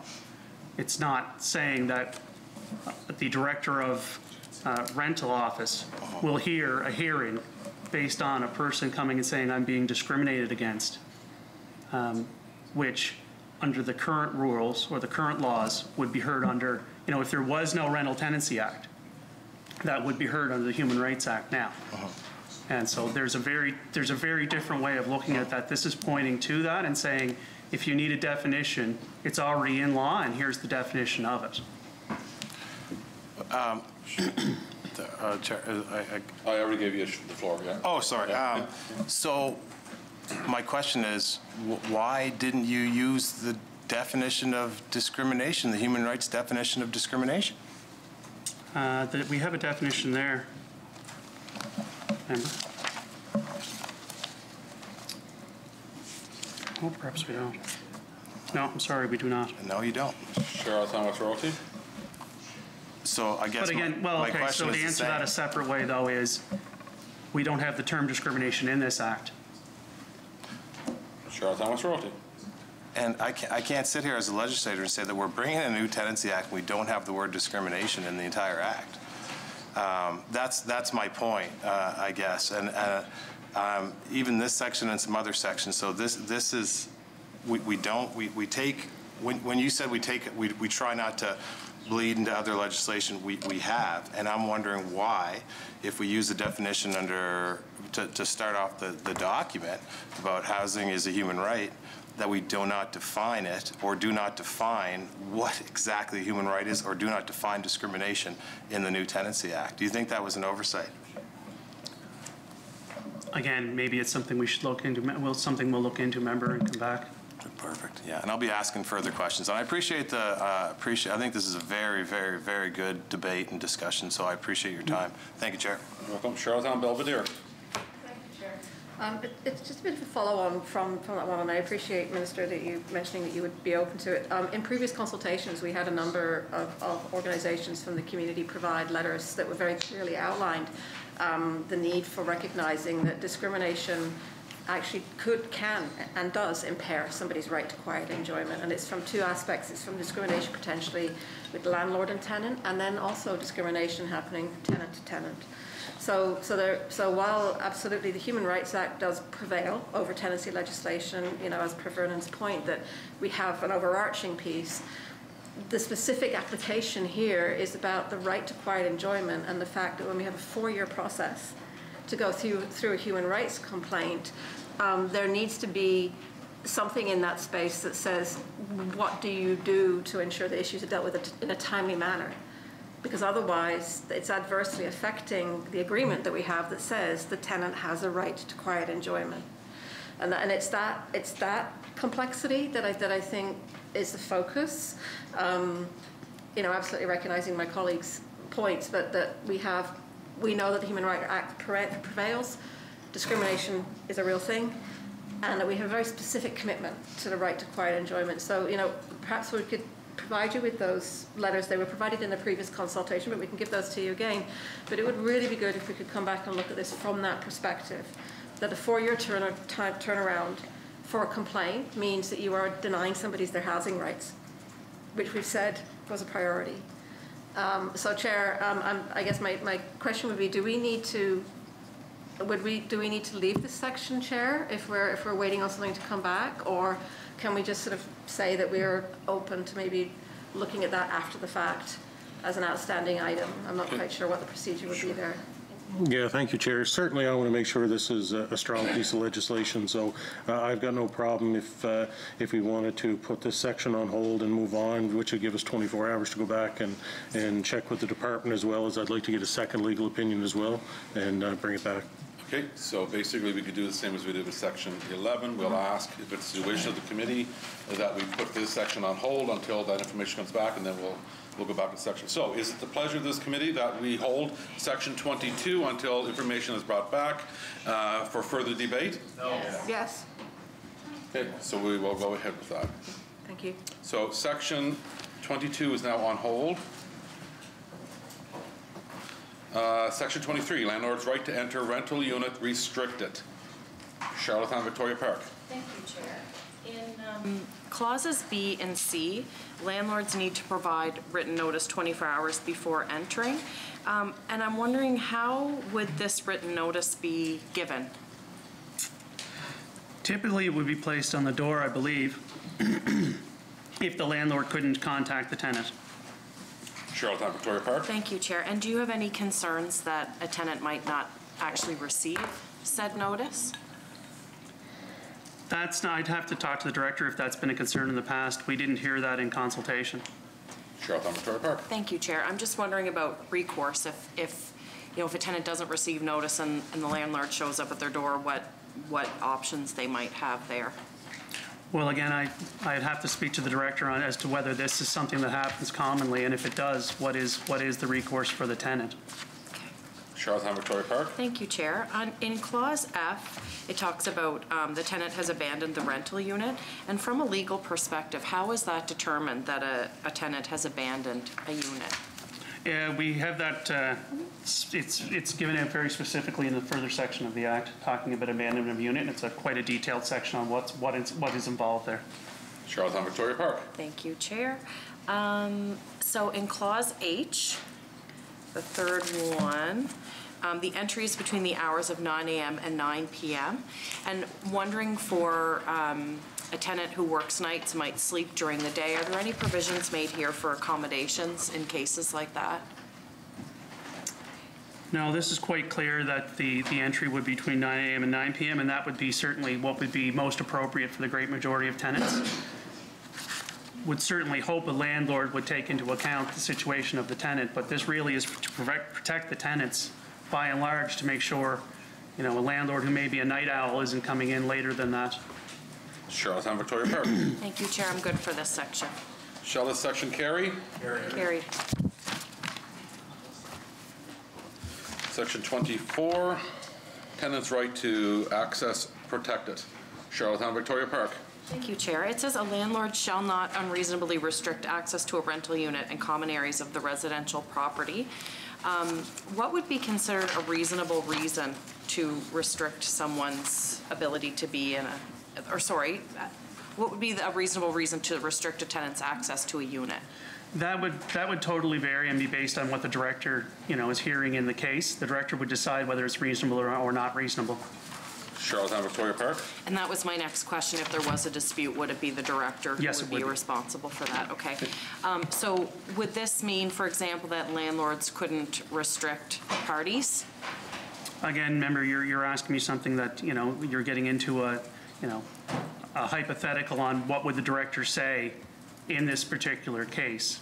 Um, You know, I, I couldn't answer what the director would say in a particular case, and when you use the term party, you know, that could be two friends over for lunch, or, you know, or it could be 40 people over with loud music. So I, I don't know what the answer would be there. It would have to be, you know, a little more, uh, a little more directed as what a party is in your question, and then I could certainly ask the director, is that what's envisioned by this? Or what is the current process in that situation? Is that what the act speaks to? Charlottetown Victoria Park. Um, So if, if the director is the authority on this, it, ki- like, yeah, I, I'm good for now, Chair. Okay. Shall the section carry? Section 25, tenant not interfere with quiet enjoyment of other tenants. Shall the section carry? 26. Oh. prohibition, changes to locks and other accesses. Shall the section carry? 27, security devices, Charlottetown Victoria Park. Thank you, Chair. Um, Can you specify what devices are being contemplated in this section? Well, again, it- it's quite clear what it says in terms of, you know, that the- the device has to be necessary to make the residential property reasonably secure. So, and then the director would decide whether that device is reasonably secure. So if a tenant felt this lock, this device doesn't leave my unit reasonably secure, they could seek, you know, the, the decision of the director that uh, something, that something better has to be provided to make it more reasonably secure. Charlottetown Victoria Park. Thank you, Chair. So are we, are- is this more access devices or is it also surveillance devices? Would that also be included under here? Uh, Again, it it just, it just says exactly what it says. The device is necessary to make the residential property reasonably secure from unauthorized entry are installed. If a tenant felt that something more was needed, they could apply to the director to say, I feel that this section of the act is being contravened, that my unit is not, reas- is not reasonably secure based on the security that's provided, and could provide that information to the director. Charlottetown Victoria Park. I'm good for there, Chair. Thank you. Shall the section carry? 28, obligation to repair and maintain, Charlottetown West Royalty. Yeah, um, just, just, the- this is similar to what's in the, the other act, but I'm, I'm just wanted to have a discussion too, because in my area, I, I get stuck between this and, and the next couple sections about what- Fiona did. And, you know, like, how, have we, have we looked at the, the impacts of Fiona on tenants and landlords when you're involving insurance companies and, and, and timely, uh, I mean, I'm, I'm, I'm working with a couple that, that it's, it's, it's, it's no, there's so many people to, to blame for not having it repaired. Um, are, have we done enough here with this section, given what we know now, what Fiona did? You're, you're sort of asking for an opinion, and, and I don't have the conversations that you've had with your, with your, uh, with your constituents. So, you know, to say, is there enough? The act was written pre-Fiona. Um, We have looked at it again. Um, You know, but it talks about that the, the landlord has the obligation to maintain the resident's property in a state of repair. Now, that, you know, complies with health and safety, housing standards required by law, and having regard to the age character, this, that wouldn't really apply to Fiona B. Um, So really, we're talking about, you know, does a tenant feel the landlord's not doing enough? And if they do, would they go to the director? Um, And I wouldn't be aware one way or the other. I guess I can make a presumption that some folks have and said, you know, this needs to happen faster. But uh, you may, you may be aware of more cases than I do. Charlottetown West Royalty. Yeah, but I mean, one, one A is, is definitely not, it's, and it's not, it's not the, the necessarily the landlord's fault in the situation. It's just that they're dealing with insurance companies. Um, it's three degrees upstairs. There's, service master has come in and remediated everything. And here we are where, where tenants are, are living in a situation that's not, not acceptable. And if they go to the director, we're looking at decisions three or four months down the road, which is, you know, I'm just. The director's decisions don't take that long, member. Yeah, okay. But if they, if, eh, down the road, I mean, so they're looking for compensation, but there's nothing the director can do in that situation. Can we, and maybe if, if people are watching, can we look at a, a clause? Because if, if Fiona happens again, it just, we're, here we are six, seven, eight weeks later and, and, um, yeah, it's not suitable. She would win on A. Um, uh, but it's, I'm just trying to keep, keep, keep something, making sure that we have enough in here that's, that's going to deal with emergencies like that in the future. Yeah. Charlottetown West Royalty. Um, no, that's it. I just, more of a statement. Thank you. Charlottetown Victoria Park. Thank you, Chair. Um, Subsection 1, where it's, it talks about standards required by law. I'm wondering what standards are required by law in this act? Standard required by law, it doesn't specifically say here, but, uh, you know, the, the, um, let me just pull it out. I have a copy of it. So the Public Health Act rental accommodation regulations would be one that certainly applies. Charlottetown Victoria Park. Thank you, Chair. Um, So the property uh, must be kept in a state of repair, having regard to the age, character, and location of the rental unit makes it suitable for occupation by a tenant. Does this um, lower the property standards for some tenants? I wouldn't know. I'd have to ask the director. I think, again, this is a question that, you know, if a tenant believed that a building was not up to these standards, um, that they could apply to the director to say, I would like to see these changes made, or I would like to see this remedy happen. Um, My understanding is quite often when tenants are coming under this situation, uh, not this particular B, but just in terms of repair and maintain, sometimes the request is, can we break our lease and move somewhere else because we don't feel that this is being met? And then it would be up to the director to decide, do I feel that these aren't being met and is it reasonable to say that this tenant, uh, landlord agreement can be broken and they can, the tenant can leave? Um, But that's really the extent of the conversation I had in- as part of my, uh, as part of my talk with the, with the director's office in terms of how this sort of operates. Charlottetown Victoria Park. Thank you, Chair, and thank you for that. Um, Clause A, we know that cleanliness was one of the motivators um, to try to evict tenants at the Causeway Bay Hotel. And I'm wondering if you can explain what ordinary cleanliness means for the purpose of this act, and are there plans to elaborate on that more in the regulations? So right now in the act, it is exactly what it says, and again, it would come down to the director's decision on providing evidence on either side. So, you know, if the, uh, you know, the tenant is responsible for ordinary, ordinary, cleanliness of a rental unit in all areas of the residential property used exclusively by the tenant. So this would be a situation where the landlord would feel that they are not doing this and have asked for a decision from the director. Um, And so there would be evidence provided, and then the director would decide, does that meet the standard based on their experience, based on their knowledge of ordinary cleanliness? Charlottetown Victoria Park. Thank you, Chair. And um, for Clause B, where it says um, tenants are responsible for proper sorting and disposi- and disposition of garbage, but some tenants report that other tenants, they're like, well, we hear it all the time that um, people aren't sorting their garbages properly, and as a result, I, I was at Champion Court the other day when, and they, they were telling me that this happens, the garbage truck drives in, and then it looks and backs up, and while I was sitting there, that's exactly what happened. And so, um, does that, how are, are those sorts of issues dealt with under this act? Because that's not, that's not the only example that I've heard happening around garbage disposal and, and no pickup. We, we clearly heard that too from both tenants and landlords, that this is a, this is a major issue. um, That there are tenants who don't properly dispose of waste. Some cases, they use other tenants' garbage cans, in some cases, they use their own. It is very difficult, um, and it's very difficult for an act to get into a specific in terms of, um, you know, what has to happen. But I- it, it really would come down to, in this case, again, what we're discussing is, does a landlord or another tenant feel a second tenant, or, you know, is it a tenant feeling another tenant, or is it a landlord feeling a tenant, are not properly sorting waste and impacting their, their uh, enjoyment of the unit or their ownership of the building? And then, do they want to seek some sort of a a remedy from the uh, the director? Uh, And again, there would be administrative penalties available. I think that would be quite extreme.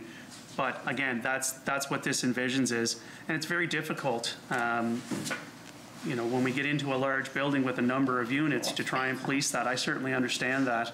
Um, But this is, you know, in terms of this piece, it really is difficult to write a piece of legislation that envisions policing garbage disposal amongst, you know, 24 different tenants in a parking lot where the garbage cans are. So it really just states that you are responsible for the proper sorting and disposition.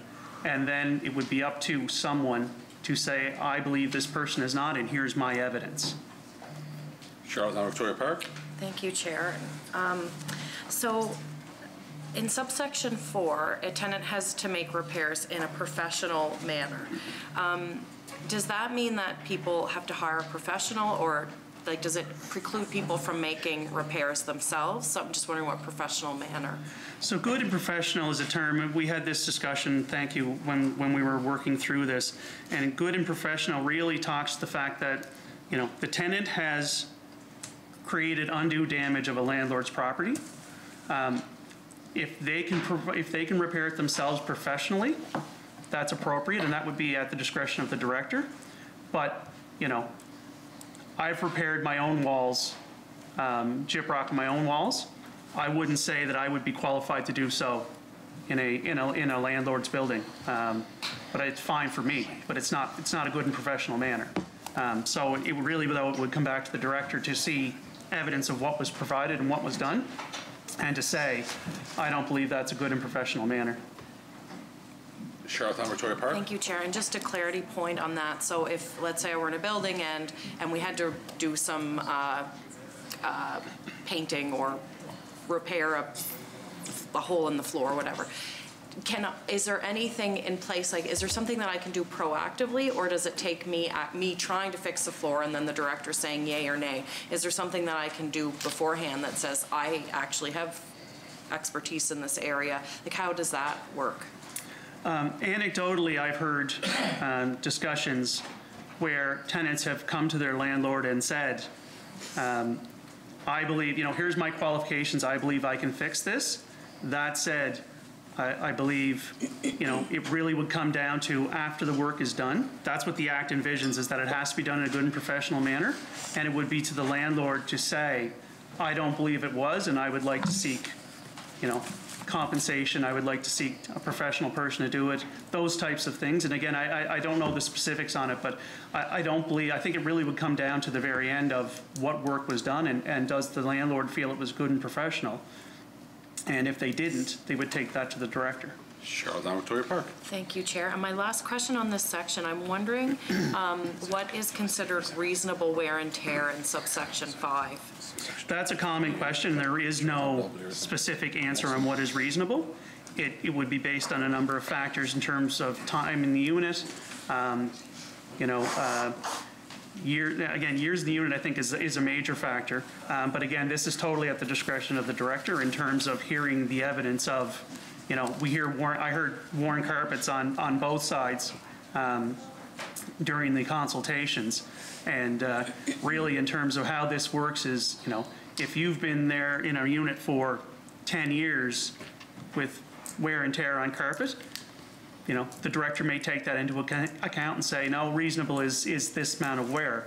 It- You know, if you've been there one year and you've been wearing, you know, heavy boots or something across the carpet and have damaged it, that may not. But again, that's totally at the, that's at the direct discretion of the director to see the evidence and then move forward with, I believe this is reasonable or not. There, you couldn't, you could never come up with a, a guide to say, these are reasonable and these are not. You may come up with examples. Charlottetown Victoria Park. I'm good, Chair, for this Thank section. you. Charlottetown Belvedere. Thank you, Chair. Um, I just wanted to circle back to the, a couple of the different points that have been raised here around um, repair and maintain, the ordinary cleanliness, wear and tear. Um, And I know that you have the process that comes up later on in section 75 that allows for the, the, you know, resolving disputes piece, but both the capacity to decide how to interpret what those things are, like wear and tear and ordinary cleanliness, and the capacity to decide whether something can go to a dispute sits with the same person, with the director.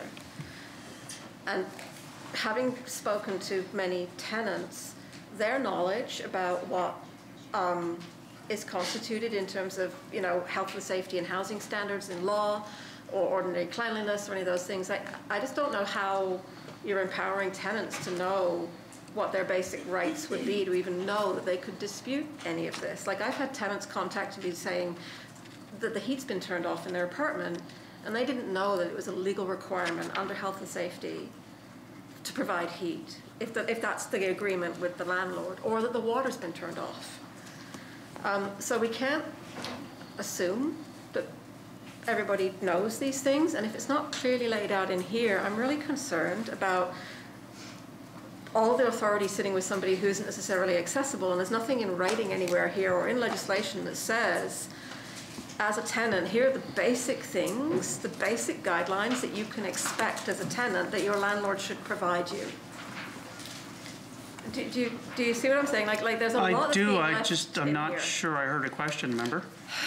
Yeah, okay, so I'll be as clear as I can. You have complies with health, safety, and housing standards required by law. What are the health, safety, and housing standards required by law? What are the five main things that, that, that, that a tenant should expect that the landlord provides under that piece? What is the benchmark for ordinary cleanliness? What is the benchmark for wear and tear? How does a tenant know that they even have the right to go and make a complaint if we don't know what those things are? So in this, so I'm- I've, I've opened up the Public Health Act rental accommodation regulations, and they're, they're not the most extensive in terms of distance, but they are very clear in certain areas on what has to be provided. And and again, this is in certain areas. Um, Just as an example, so light. Every habit- habitable room shall be provided with one or more windows opening directly to the outside or the external air. Ventilation. Every bathroom or room containing a toilet or urinal shall be provided with ventilation. Uh, Space requirements for sleeping. No person shall rent or allow to be rented or occupied as a sleeping unit or for purposes for sleeping any accommodation unless there is available not less than 50 square feet of floor area for each and every occupant. So these are some of the examples of what is provided for in the Act. Um, Again, when you get to a dispute, and that's what we're discussing is, is dispute. So if, and I'm, Chair, can I just qualify, please? I'm Um, not, uh, The, the stranger still has the floor. I don't know if he's finished.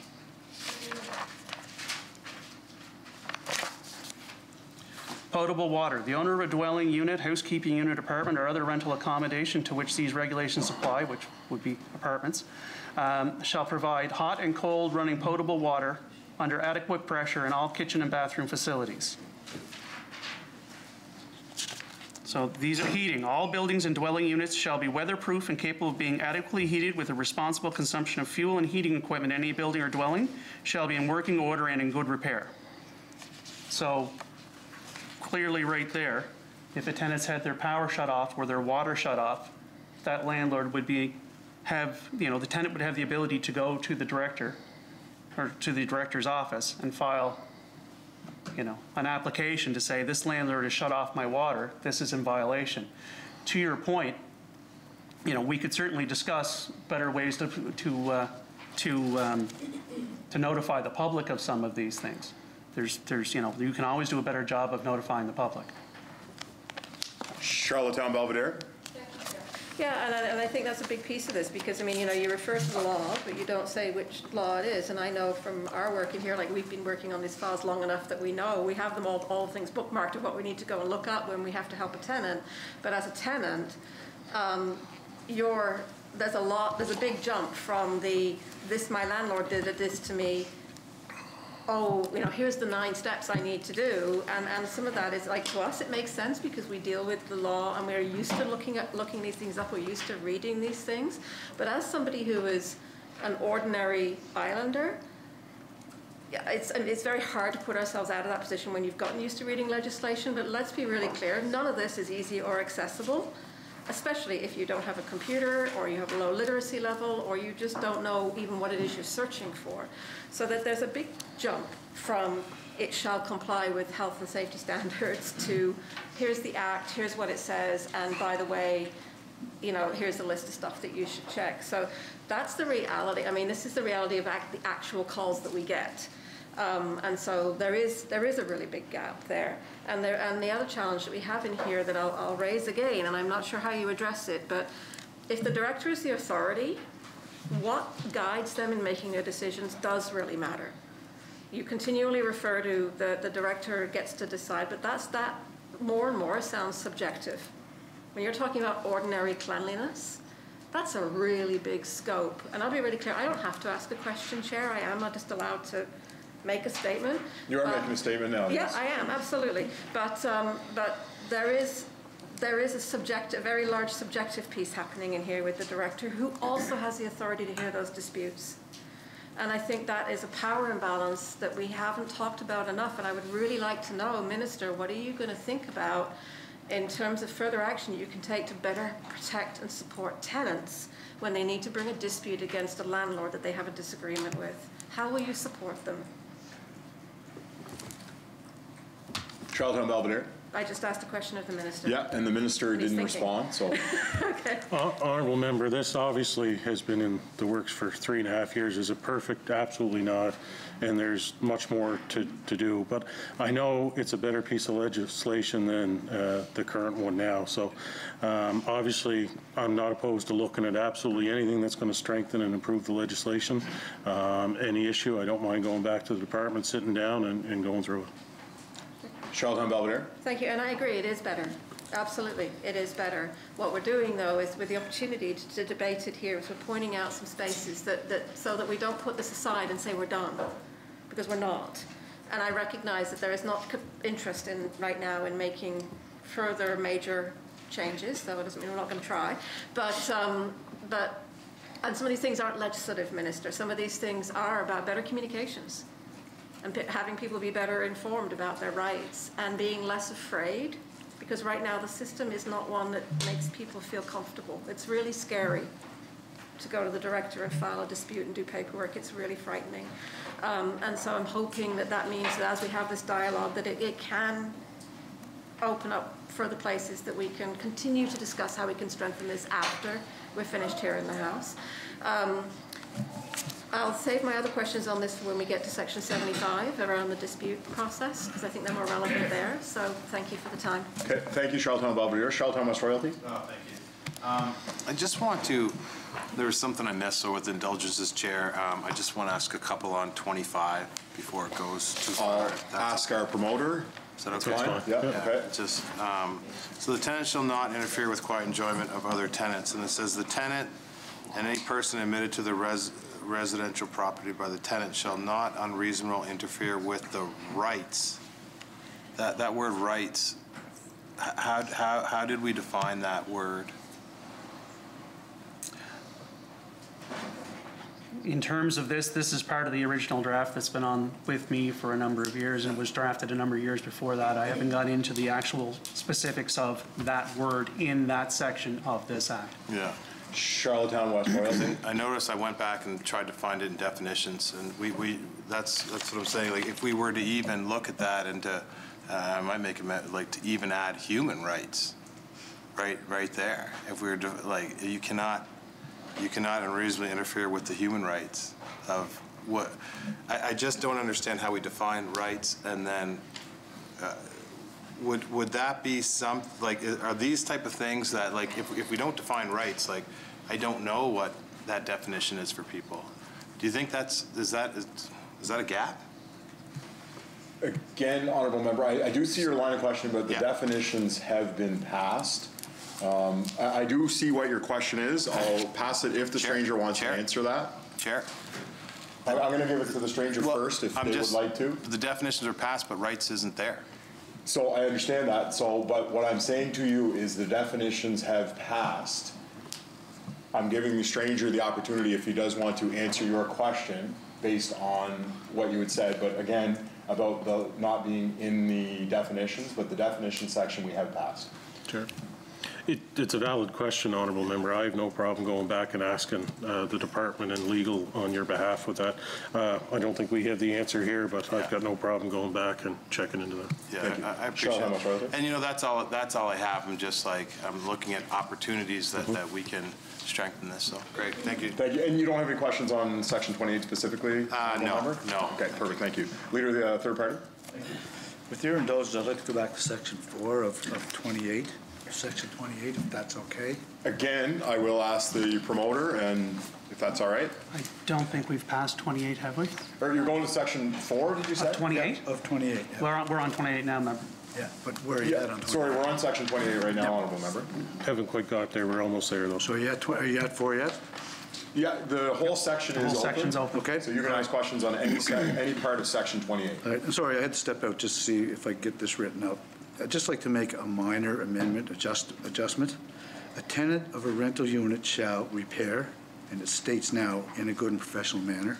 What I'd like to add in there is a tenant of a rental unit shall repair and have done the repairs by a professional tradesperson.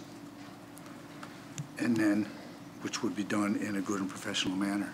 I mean, there's lots of tenants that can fix things, but it's not done as good as it would be done. So I'd like to make amendment to that, but I spoke to our Chair. So honorable, uh, uh, sorry, I'm going to give the floor to the promoter. We can certainly look at the amendment, but I just, uh, first thing I think of, I understand what, what you're saying, but there would be um, a retired carpenter that is quite capable of doing that, even though it does not work, that still has the knowledge and ability to, to do that. So I understand what you're saying, but there would still be people, even though they're not in the trades, they might have been in the trades previously or, uh, or so forth, right? So I'm just, I don't, I will certainly look at it uh, once we get it here, but that's the first thing that comes, comes to mind with me. So leader of the third party, you do have uh, an amendment? It's that you- coming, so I ask, could we wait to pass that section until I get it? Yep.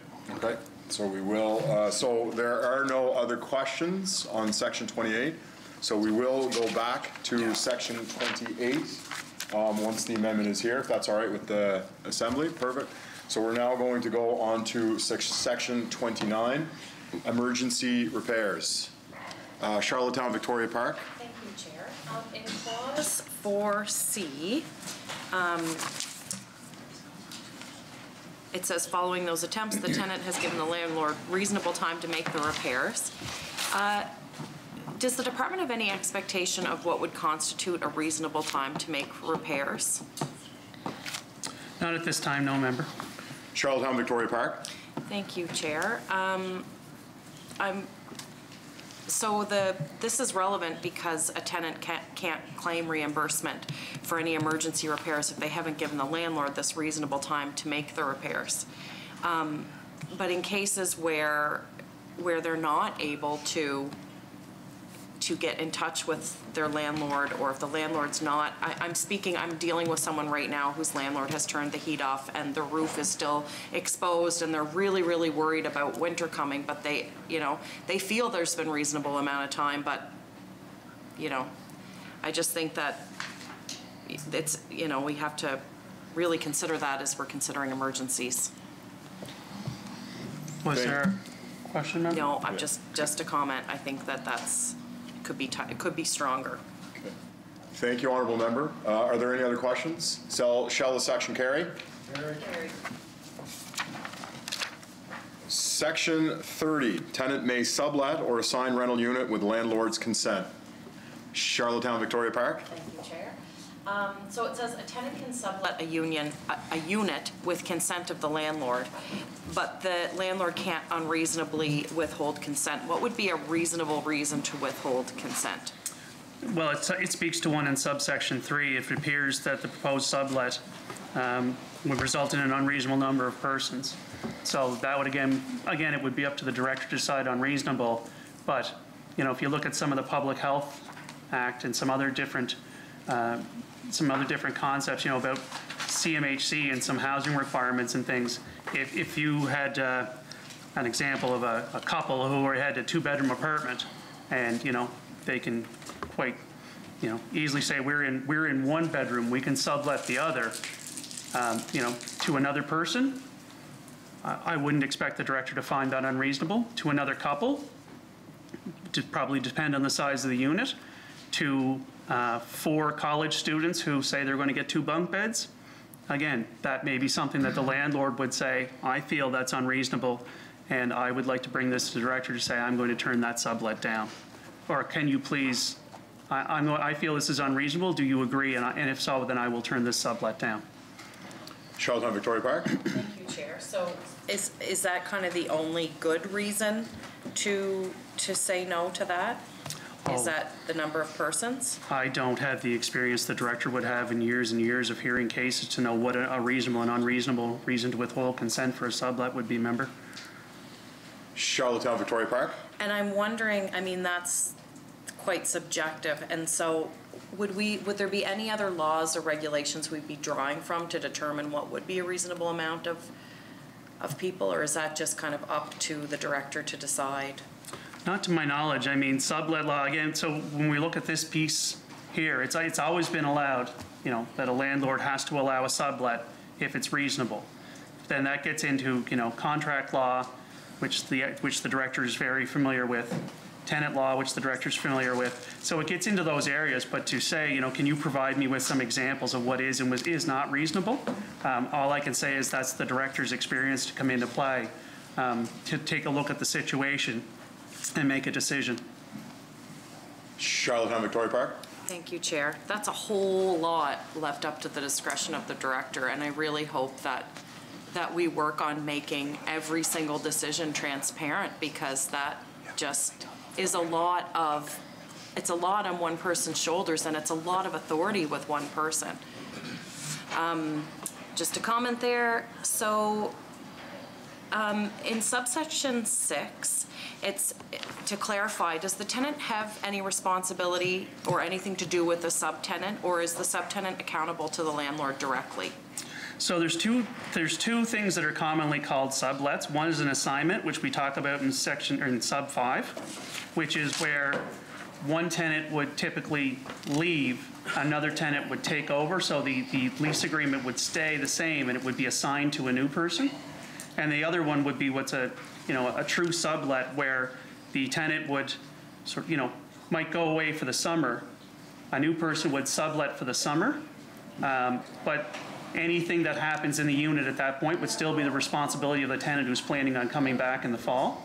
So their obligations remain, and it's really their duty to ensure that the person they sublet to, in a, in a true sublet, follows the, the obligations that they have under them. It, it- it's really up to them to sort of ensure that they're getting the right person in to sublet. Charlottetown Victoria Park? Thank you, Chair. Um, I think this is my last question in subsection 10. How does the landlord determine if the, if the tenant's charging too much rent to the subtenant? I'm wondering if, if there's like a subtenancy agreement with the landlord or what? Well, again, so there wouldn't be a subtenancy agreement. It would be the landlord hearing, you know, again, complaints-based, the landlord hearing from the subtenant, you know, I'm paying this amount, um, and the landlord saying, okay, I feel I have to file something with the director here. They're in violation of the act. That's a greater amount than what's being provided for in my, in my agreement. Charlottetown Victoria Park, you're good, thank you. Uh, Charlottetown Belvedere? Thank you. First question is, is there any um, guideline in the legislation around the landlord subletting the unit or changing the numbers of tenants in the unit?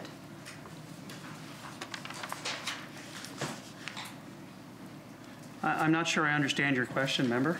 Could you? Are you suggesting the landlord would, no, you go ahead, you, sorry. Thank you. Yeah, uh, so I have a landlord in my district who um, has um, a multi-bedroom unit, multi-bedroom, multi-bathroom unit, and he has taken two of the bigger bedrooms and installed bunk beds.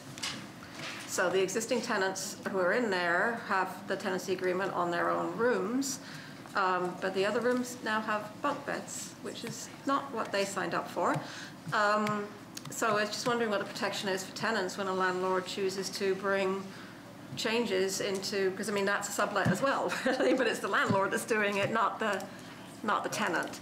And I'm just wondering how we, how we protect, because one of the things that's been raised by these tenants is they're concerned about whether it's a breach of fire code, having that many people in the building. So I, I don't believe that's a situation of a sublet. The sublet is, is looking at the situations where a tenant Yep. brings in a new tenant. What you seem to be describing in that situation is a landlord changing what's in the agreement. Right. So that would be a change to the agreement, which the tenant would then have the right to file with the director to say, this is a change to our agreement. We agreed on this situation, and now we're changing it to this situation. So- So I don't know, I don't know if that gets into a change in service, if it's Mm. changed, but it's certainly a major change to an agreement that Oh, the yeah. tenant would be able to file with the director. So change of Uh, use. Charlottetown Belvedere, sorry. Right, no, no, right, my apologies, Chair. So change of use, change of service, it would be more under that kind of basis. I I can't, and again, I can't say for certain. Okay. Um, And I don't want to provide a whole lot of conjecture, but yeah, that's certainly not, that's a landlord changing what's going on in the building or in the unit is not a sublet. Okay. Charlottetown Belvedere? Thank you. And then, then the other piece around that is, is, um, um, and you had mentioned this earlier, when we come back to the sublet with a tenant, and the tenant, or, sorry, sublet, the tenant is subletting their space, the agreement still remains with the original tenant. So is it the tenant's obligation to inform the subletting tenant of any rights and obligations that they may have while they're subletting that unit? I believe so, yes, yeah. Okay. Charlottetown Belvedere? And, there, and there's, there's no requirement for that to be any written contract on file, like a secondary sublet contract, or is that, can, can that be a verbal agreement? You know what, I don't know that answer. Remember, I'll have to find out and bring it back. I'm not you. sure if a sublet becomes, it it's a true sublet, if it becomes a secondary agreement that has to be provided. Um, Yeah. I'll have to find out and bring that back. Charlottetown Belvedere. Thank you, and the reason for asking that is because I have a lot of rentals in my district. Just to be clear, 50% of my district is rental, so I have all the stories. Everything that could happen with a rental probably has happened. Um, so what I have in my district is someone where they sublet the, the space and then with a verbal agreement, and then when they came back at the end of the summer, the sublet tenant refused to leave. So then it's how, who is in breach of contract? Is it, is it the set tenant and the subtenant, or is it the tenant and the landlord? And, and so the landlord refused to have anything to do with it, not my problem, but it's how do you then bring that forward as a dispute? Because the dispute wasn't with the landlord, the dispute was between the tenant and the subtenant. So it is a contractual issue, um, but somebody's going to wear it because, you know, what happened in the end was nobody paid rent, and the landlord then had the problem. Um, and I recognize it's a very specific thing, but it is a very specific thing that could happen in this case, particularly when we have um, summer sublets or winter sublets with students, for example, which is what I see quite a bit of in my district. So perhaps if you could bring that back just a, as a, an asterisk, it's not a reason to stop this section, Chair, but it is, it is, a, a, I think, something that's worth looking at as a potential, a real thing that has actually happened and more than once. And I appreciate that comment, and uh, our stranger had said he will uh, look Yep. into that and bring back what he can. So thank you, Charlottetown Belvedere. I'm- Next, For now, thank you very much, Chair. excellent, thank you. We're going to go to Charlottetown, uh, sorry, uh, leader of the third party. Thanks, Chair. So on this one, so you're basically saying that you can sublet if the landlord consents, right? Pardon me? You're saying that you, you can, it can be subletted if the landlord gives consent. Yes, the, this subletting has always been allowed in a rental agreement. So. Leader of the third party? He can only not do it if he's got good reason for not doing it. Absolutely, yes. Okay. Leader of the third party? So what happens when a tenant does it and the landlord's unaware? So when we get to uh, subsection 10, the landlord may um, make a, make an application to the director under section 75, which talks about um, orders, or, or starts the process of an application to say, you know, the tenant has sublet or assigned the rental unit without the landlord's written consent. The landlord would then have to see, speak to the director on what I would like to see happen. You know, would it be, I'd like to see this stopped, which is typically what I hear, um, is that the tenant didn't come to me for consent, so I would like to see this process stopped. So that's. what- Leader of the third party? So that's what you're typically hearing. What's typically happening? Are they being put out? I don't, I'm not aware of that member, I'd have to go back and check. Well, it Leader of create- party? It creates quite a safety problem if you have someone subletting and the landlord's not aware. And if there ever was an a a fire or anything like that. Yeah, and that's why the act makes it clear that, that, you know, that you need the landlord's consent. But again, if someone decides to contravene the act, the landlord has to have the ability to go to the director. I don't know what the landlord would ask. I mean, again, we're, we're presuming what would the landlord be asking for from the director? And they may be asking for a number of things that would be reasonable. So it would be up to the landlord to go to the director and say, here's, here's what's happening. Um, So again, you know, if you had a specific question on, and, and you did, um, you know, does this mean the subtenants are evicted, I believe was your question. That's my Then I can, then I can find it and bring that back. Thank you. Okay. Leader of the third party? That's it Good, for now, thank you. thanks. Uh, Charlottetown Brighton? Yeah, I have a question in uh, s- subsection 8A, uh, where you- where you're not allowed to charge a subtenant more in rent than you pay yourself. uh, That seems like questionable. For instance, if you, what you're renting from the landlord is an unfurnished unit, which is typical, then you're renting, subletting a a totally uh, furnished unit, might include, uh, for instance, a personal car or dog or whatever. Uh, Why shouldn't you be able to uh, charge more? Uh, Same thing applies if you're, if, for instance, you're renting it out in the summertime when rental properties is, as we know, worth a lot more than it is during the wintertime. So again, member, in this, in this particular case, and that's, a- it's an excellent point, but in this case, what the act is trying to make very, very clear, and what the concern that has brought, been brought forward was that there are situations where um, tenants are renting apartments, moving out and applying for more rent or provide, or, you know, asking the subtenant to pay more rent and actually profiting off of the unit in an illegal manner in terms of they've raised the rent beyond what's legally allowed. Um, So what this act is trying to ensure is that that doesn't happen. Um, That's, that's what the intent of this piece is, is to ensure that. Charlotte Brighton. I can kind of see the fairness in that. Um, It's more like an aside. What, what happens if, uh, as we sometimes do, uh, in exchange of apartments or more informal, like if you have somebody cat sit for the winter when you go to Florida type of thing, how are those arrangements covered by this? Okay, so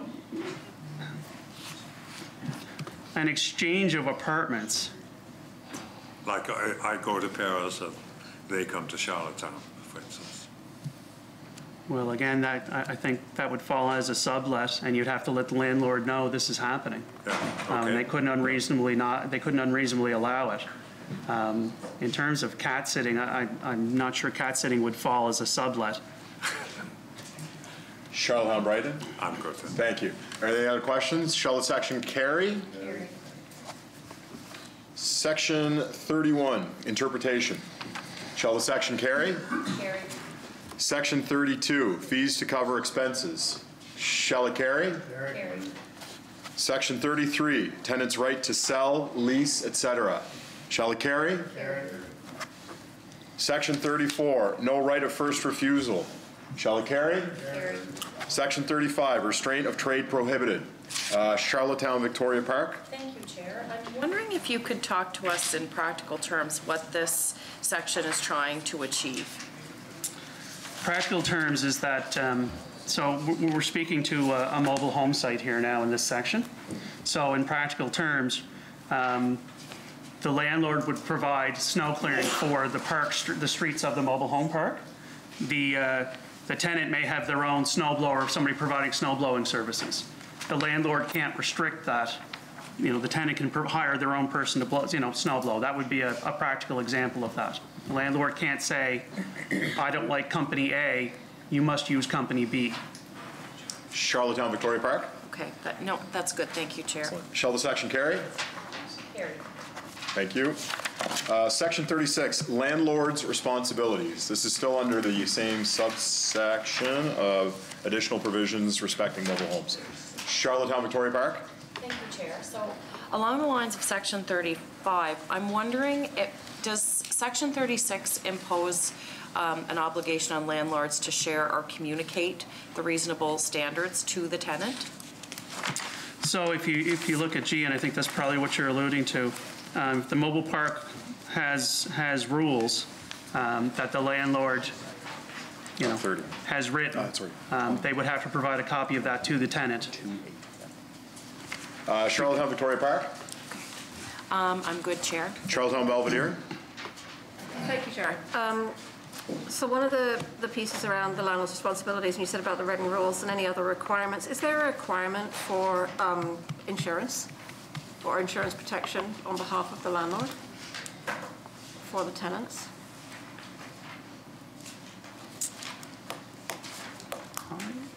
I'd have to get back to you, member. Okay. Uh, Charlottetown, Belvedere. Um, I, I have a similar question on, on section 37, so I'm good with 36. Okay. Uh, 36, shall it carry? Carried. Uh, 37, tenant's responsibility. Charlottetown, Belvedere. Thank you. Uh, sorry, Charlottetown, Belvedere. Sorry.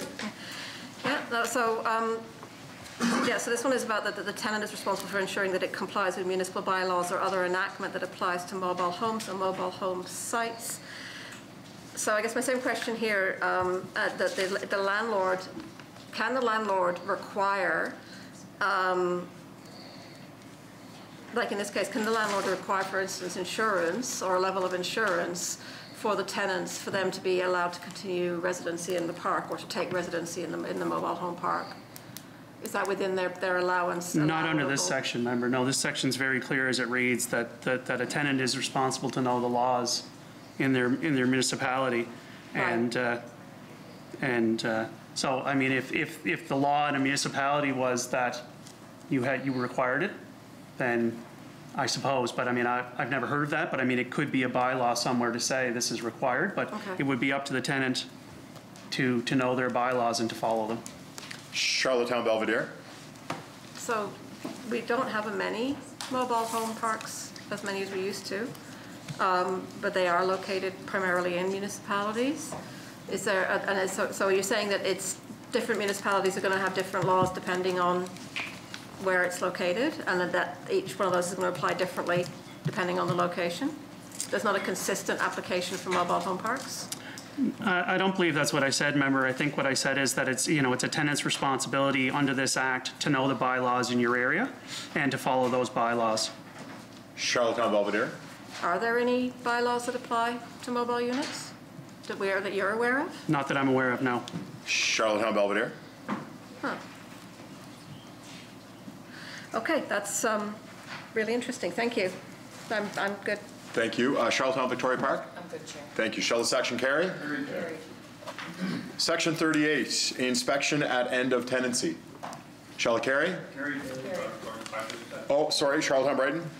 I'm just wondering why there's no reference to the initial inspection that, does that not come up for comparison something like that? uh, That either party should produce at least one copy of that?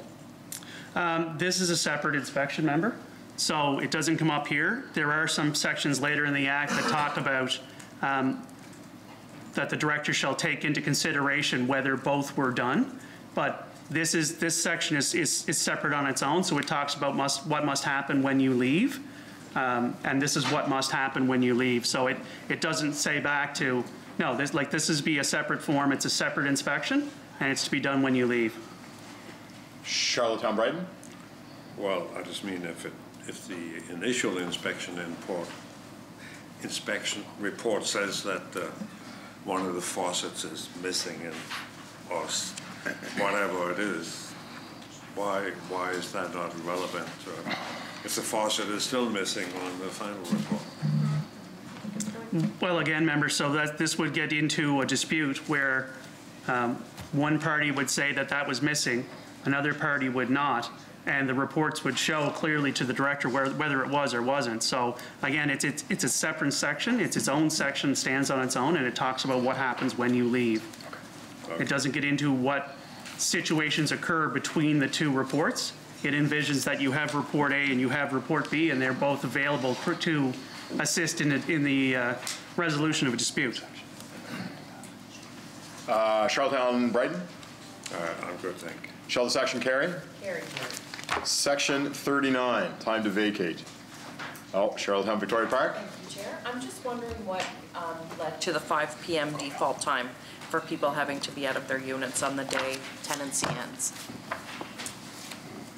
I, it was there when I received the draft number, and I, I believe it's sort of a standard, but I, I don't have any, I don't have any, uh, any information on where 5 PM came from. Uh, Charlottetown Victoria Park. Thank you, Chair. And, and one more question on this. Um, One of the things that we hear quite frequently is the um, disagreement between tenant and landlord at the end of a tenancy when they're moving out in terms of um, clarity about what cleanliness should look like. And I've heard, I've, this is probably one of the biggest things that I, that I hear. And I'm wondering, does the department plan to provide a little more clarity on what this cleanliness, when a tenant leaves, should involve? A- As of right now, again, member, I, I- I feel pretty comfortable that, and I, I do hear, um, we've heard from both landlords and tenants, that this is a frequent issue. Um, But I, I really think that this act talks about providing the, the legal framework that allows the director to hear both sides and, and, and resolve a dispute. Charlottetown Victoria Park. Thank you, Chair. I think that there's a, I think that this is another example in here that, where a little clarity would go a long way to actually stop disputes before they come, you know, and that's, I, I think that this is a really huge missed opportunity for the department. I, I recognize this has been a, this has been a huge piece of work and never, it's been all hands on deck. Um, and I just think that, that we need to do a little bit more in terms of putting things in here as a preventative measure because everything, it seems like almost everything I've asked questions on so far, go to the director, go to the director, go to the director. The poor director, you know, if we put some, some pretty, I mean, these are not difficult, some of them are more challenging, but not all of them are really difficult to figure out. Um, So I just think that we could be really proactive in this rather than waiting, you know, than relying on the director to do all of these things. So I'm good for now, Chair. Okay, thank you, Charlottetown Victoria Park. Uh, Shall the section carry? Carried. Okay, honorable members, um, I believe that the leader of the third party has his amendment for, so we're going to go back to section 28. Um, Can we get the amendment passed out? While the amendment's being passed out, uh, honorable leader of the third party, may- party, maybe I can get you to read in your amendment into the record, please? Purpose of it, first? All right, sorry, uh, sorry, go ahead, uh, leader of the third party. I'll get you to read the amendment in first, and then I'll let you uh, give a comment to it. Okay, section 28-4 of the bill, of Bill 87 is amended by the addition of the words, "or to have repairs by a professional tradesperson," after the words "shall repair." Okay. So, honorable members, while the amendment is being passed out, uh, what I might do is open the floor to the leader of the third party, just uh, give a brief statement for the amendment. Well, thank you, Chair. And As we all know, we all have friends that could do carpentry work or electrical or mechanic work. Uh, But let's say, unfortunately, a Chesterfield hit the wall where there was a electrical outlet, and the person that came in was just a carpenter, and they did the drywall and they fixed it, but they're not an electrician. The purpose of this is, is I felt that it should be done by a professional tradesperson. Now, if it's somebody that's retired, well, that's fine. They were a carpenter or electrician, but, you know, if if you fix a wall with drywall and you don't fix it right, it's very visible that it's not a very good job, right? If you don't sand it right, or you put too much drywall or too much uh, putty. So I felt maybe this should be done by a professional tradesperson. Okay, thank you, honorable member. Um, I'm not sure if everybody uh, has got a copy of the amendment yet, so we're just going to leave it for just one second here.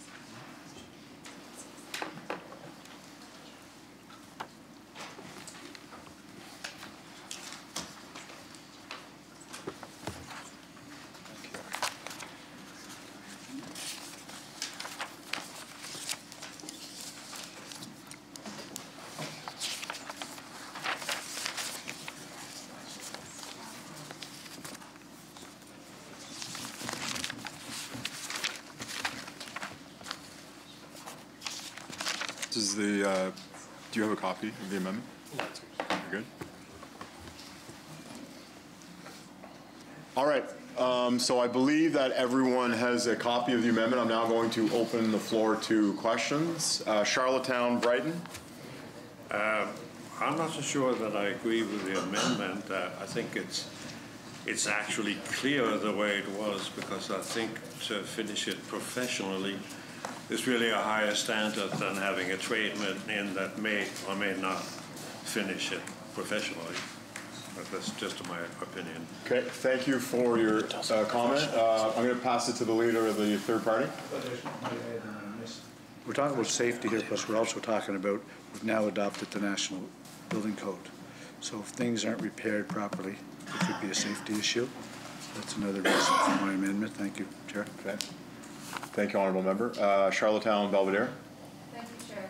I recognize this is an amendment on um, 28, which is 28.4, which is regarding the tenant's responsibility for undue damage, but concerns regarding health and safety and electrical systems are actually in section 29. So I don't know if perhaps the member has amended the wrong section, or, um, but heating systems, uh, electrical systems, things that are actually necessary for the health and safety of anyone are under, are under emergency repairs that are a completely different section. This, this one was specifically around um, damage to the unit or common areas um, that the tenant causes. Um, And so I think we just need to be clear if we're using examples, that the examples are actually relevant. And I would, I would suggest that perhaps that a, a more, the amendment would, is not appropriate for this section, given that we're talking about damage caused by a tenant that does not include things that bring our health and safety issue. Uh, Leader of the third party? I beg to differ. Certainly could cause issues, and I mean, it should be, repairs should be done by professionals. If they're in a common room or if they're in an apartment. The building was professionally built. Thank you, Leader of the third party. Are there any other questions? Shall the amendment carry? No. Um, I think I heard no, but I'll ask one more time. Shall the amendment carry? No. I heard no. Uh, I'm sorry. Unfortunately, uh, Leader of the third party, your amendment, is- excuse me, does not carry. So we will move back to section 40. No, 49 uh, is read. Chair. Passed, yeah. Carry the section. Uh, Carry section 28. Um, Section 40, return of security deposit. Uh, Charlottetown Victoria Park. Um, We know that when some tenants move out, they require their, um, their security deposit quite soon because they need that, the access to that cash to apply um, it to the next rental unit. I'm wondering why the department settled on 15 days for the return of the deposit. This is a- an important change from the current act. Um, So in terms of the current act, the tenant has to file an application with the director to have their uh, security deposit returned. In the new act, the landlord, the onus is on the landlord to file with the director to say, I'd like to keep it. Um, But in terms of 15 days, that number was, you know, it's a number that was chosen based on some of the other language in the act around appeals and, and around timelines and what seemed appropriate um, based on, you know, discussions with the director's office or, or with, you know, as we're, as we're creating it. Um, There was no, uh, you know, no scientific study done to say 15 days is the correct number. Uh, Charlottetown Victoria Park. Thank you, Chair. Um, I'm looking at uh, subsection five, and going back the- to the definition of security deposit, it's any money or property paid by the tenant to the landlord. And I- how do these provisions deal with the property part of the security deposit, if that's the case? So again, a good point, member, in terms of, to go back, I mean, the act had a, had a section, or, you know, a clause in the section that talked about property. I've never heard of that being done. Um, Security deposits are there. It was written to put that possibility in. Um, It's, it's never been done, and, and perhaps it shouldn't have been written in there. Um, But in terms of that, in reality, when, when there's a deposit done, it's, it's cash. It's, it's, it's, a- it's a monetary pol, it's a monetary deposit, and this section speaks to that. Charlotte Charlottetown Victoria Park. I'm good, Chair. Shall the section carry? Oh, sorry, Charlottetown Brighton. Well, I just had a, uh, had a concern, uh, uh, tenants moving from one apartment to another uh, are really hard up for cash and, uh, you know, that with all the expenses of moving and they have to put a deposit down uh, on the next apartment. uh, I don't quite understand the 15 days. Um, do their tenants, for instance, when they move into the new apartment, do they get a 15-day uh, uh, respite before they have to provide it for the landlord, 15 days after the move-in? No, member, I, I mean, again, this is part of the agreement between the land, the tenant and the landlord. Um, The landlord and the tenant would agree on when the, when the deposit's to be paid. Charlottetown Brighton.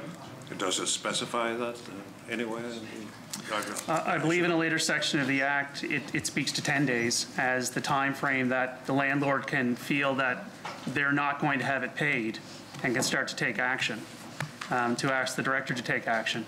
Um, Charlottetown Brighton? It seems to me those two days should be uh, coordinated somehow. It Makes a big difference to some, some tenants, I'm sure. Is there a question, sorry, honorable member? Um, No, no new question. Okay, thank you. Uh, Shall the section carry? Section 41, landlord may retain security deposit. Shall it carry? Section 42, abandonment of rental unit by tenant. Uh, Charlottetown Victoria Park. The department plans on coming up with a, um, a standardized form for for providing notice under this section. It isn't envisioned in the act, but there's nothing, I would think, that would stop the director's office if they felt it was necessary from creating one. Charlottetown Victoria Park. Thank you, Chair. And, and in Clause 3C, uh, it- this is talking about what information should be posted on, in a conspicuous place, an obvious place, um, on the residential property for landlords providing notice that they will be entering a, a unit that has been abandoned. And so would the same 9 AM to 9 AM hours apply in this case as well? Not as, not as this act, this section is written, no. Charlottetown Victoria Park. So does that help me understand here? So let's say it's been abandoned and there's been that notice put on the door for the reason to let the tenant know if they are to return that this is happening.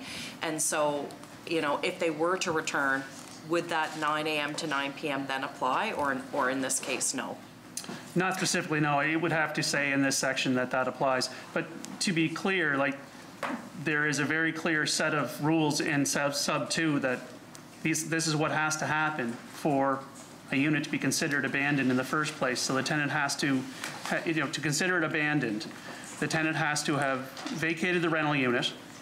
The tenancy agreement is not terminated in accordance with this act or the tenancy agreement, and rent is overdue, which is extremely important. So typically, it- it's quite clear, now, I I- say typically, um, it's quite clear that the rent is overdue, the tenant hasn't been seen in quite some time, and so the landlord begins to believe that it's been abandoned, and then they start these, this process of filing a notice to say, I believe it's abandoned, and I'd like to inspect to ensure that. Charlotte Charlottetown Victoria Park. Good, Chair, thank you. Shall the section carry? Carry. Section 43, tenant's personal property. Charlotte Charlottetown Victoria Park. Chair. Um, So in subsection two, um, there's a reference to a safe storage. Could you elaborate on what that means?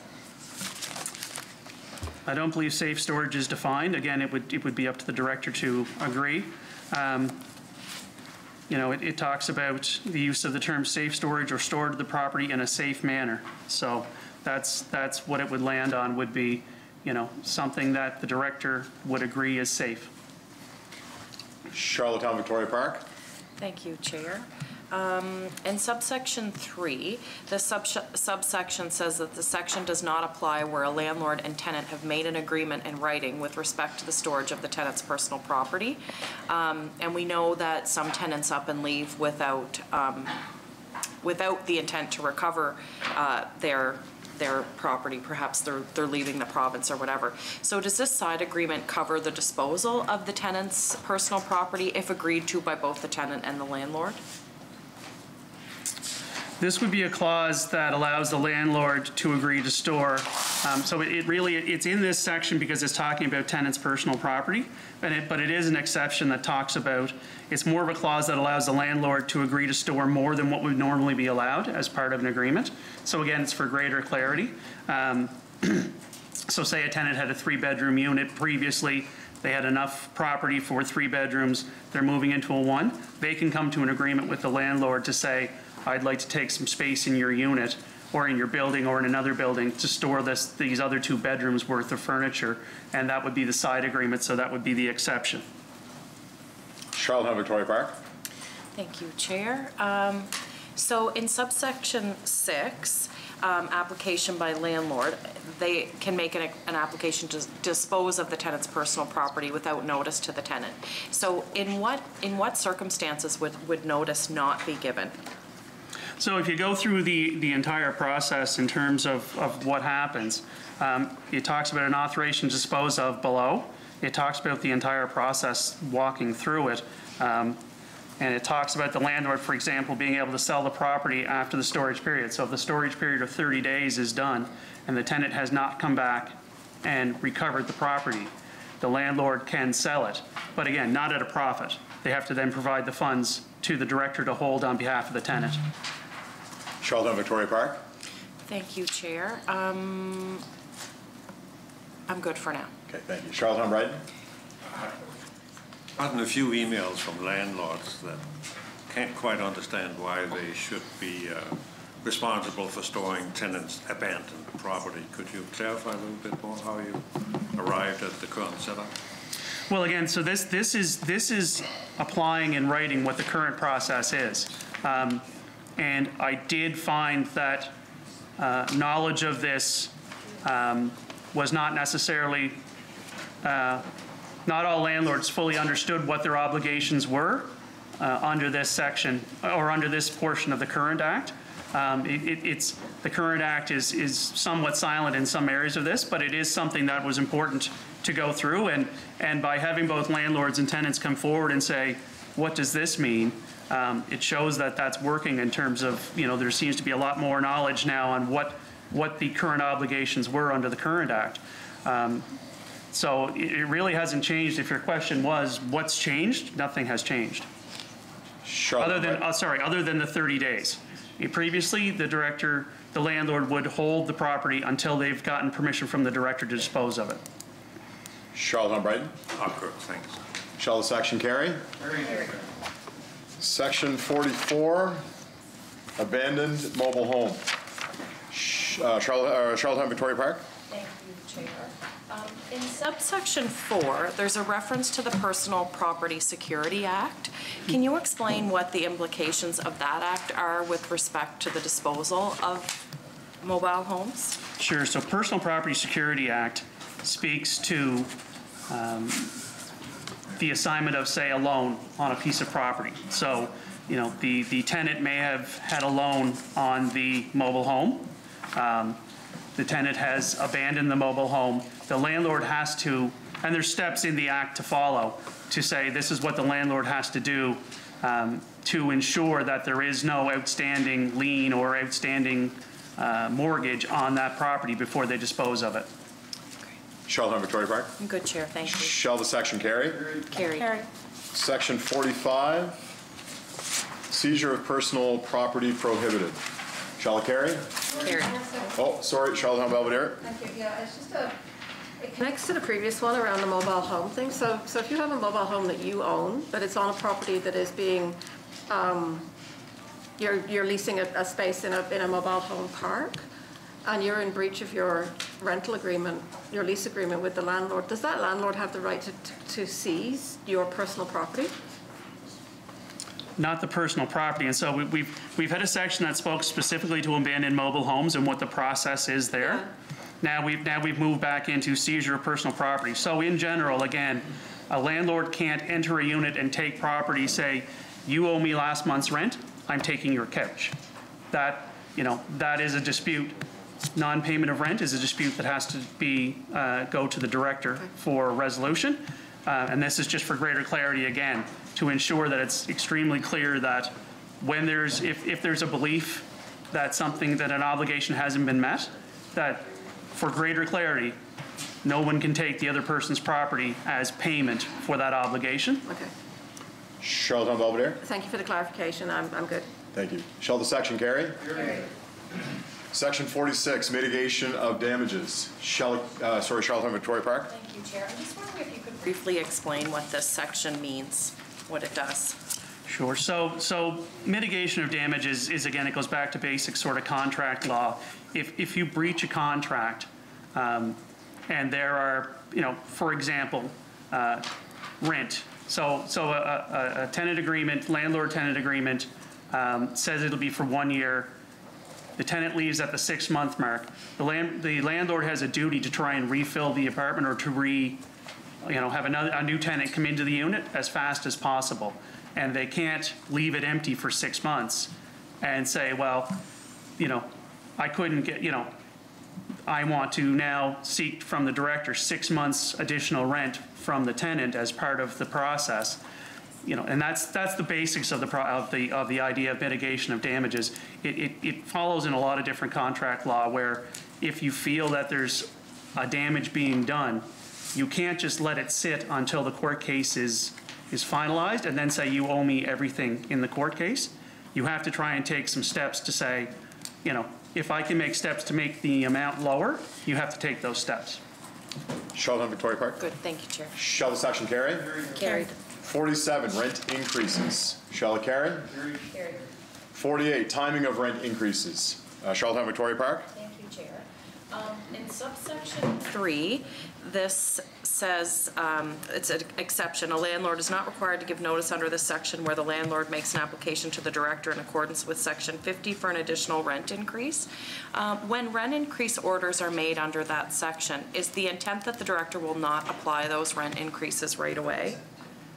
No, what this, what this section uh, applies to is that um, if you're making a rent increase um, under, say, the, the maximum allowable, you apply, you, you have, you must provide the notice.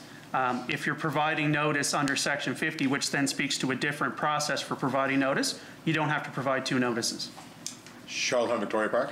Thank you, Chair. Um, In subsection six, um, the obligation of the landlord, how do we know, so it says where a landlord has given a tenant notice of rent increase and the tenant ends the tenancy agreement in accordance with subsection five, the landlord shall give a prospective tenant a copy of the notice with the name of the tenant removed before the parties agree to a tenancy agreement, and B, rent the rental unit at the rent stated in the notice. Um, How do we know that this will not be abused in the absence of a rental registry and with the tenant not having the ability to determine what the, what the previous rent was and whether it's a reasonable increase or not? So member, uh, again, we're getting into that, that sort of, that question that's been asked in terms of how do we know if someone's going to break the law or not? Um, So I'm not sure I can answer how we know any one person will break the law. Charlottetown Victoria Park. Do you have maybe I- one last question? I was just going to say, we create a rental registry, that's what we do. I'm done, thank you, Okay, shall the section carry? Uh, Honorable members, we have come to the end of government time, so we will now be switching over to the opposition's time.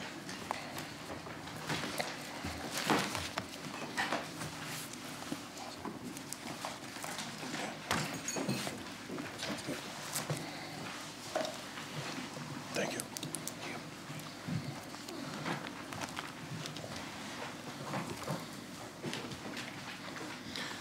Mr. Chair, I move the Speaker take the chair and the chair report progress and beg leave to sit again. Shall carry?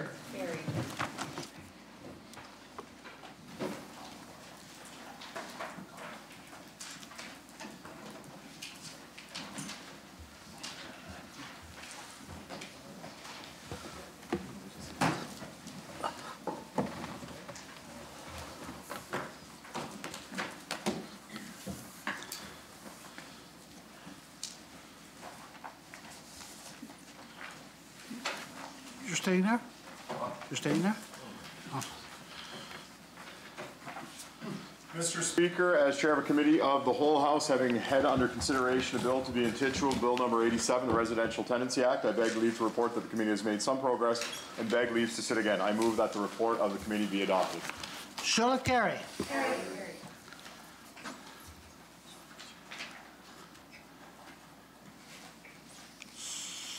Summerside Wilmot. Mr. Speaker, I beg leave to introduce a bill to be intituled an act to amend the Early Learning and Child Care Act Number 2. And I move, seconded by Charlottetown Victoria Park, that the same be now received and read a first time. Shall it carry? Bill number 129, an act to amend the Early Learning and Child Care Act Number 2, read a first time. Overview, member? Thank you, Mr. Speaker. This bill ensures that all staff working in child care centers will be required to have a vulnerable sector check, and it also clarifies that people who do not work in child care centers while children are present are not expected to get that same check. This moves provisions currently in regulations into the legislation. The intent of this bill is to ensure the young, that youngest islanders are protected in consultation with the Child and Youth Advocate.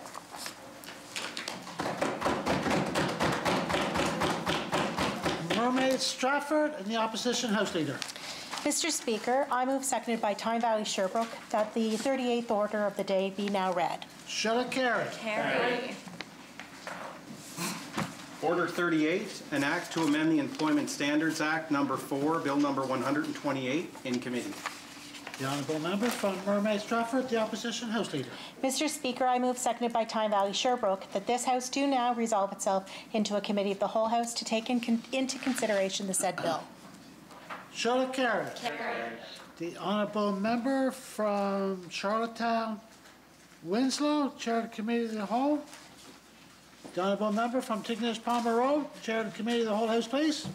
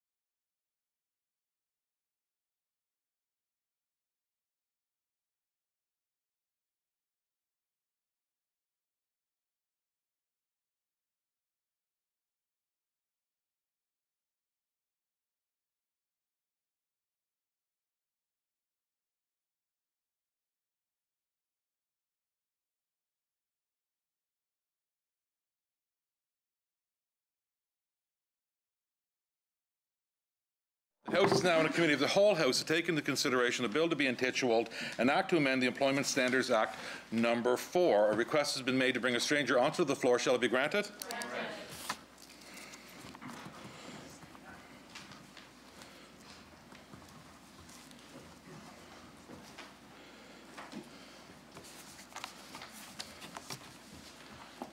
Could you please state your name and position for Hansard? I'm Nathan Hood, Senior Policy Advisor to the Official Opposition. Thank you very much, Nathan, and welcome. Honorable members, uh, the bill is currently under debate. It has been amended, so, and we're, it's opened up to questions as a whole as amended.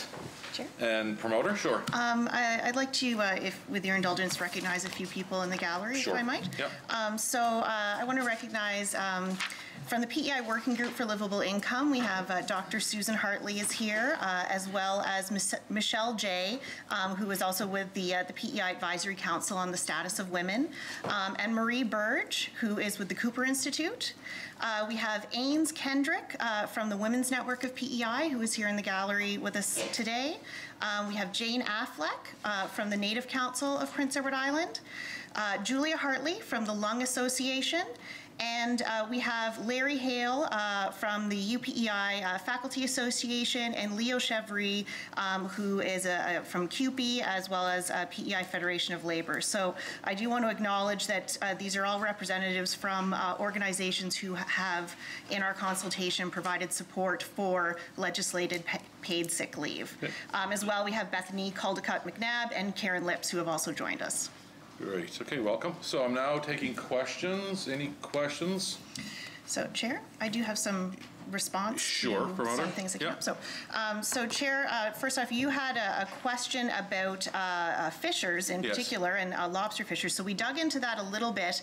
Um, the uh, language in the Employment Standards Act around layoffs is, to be honest, somewhat vague.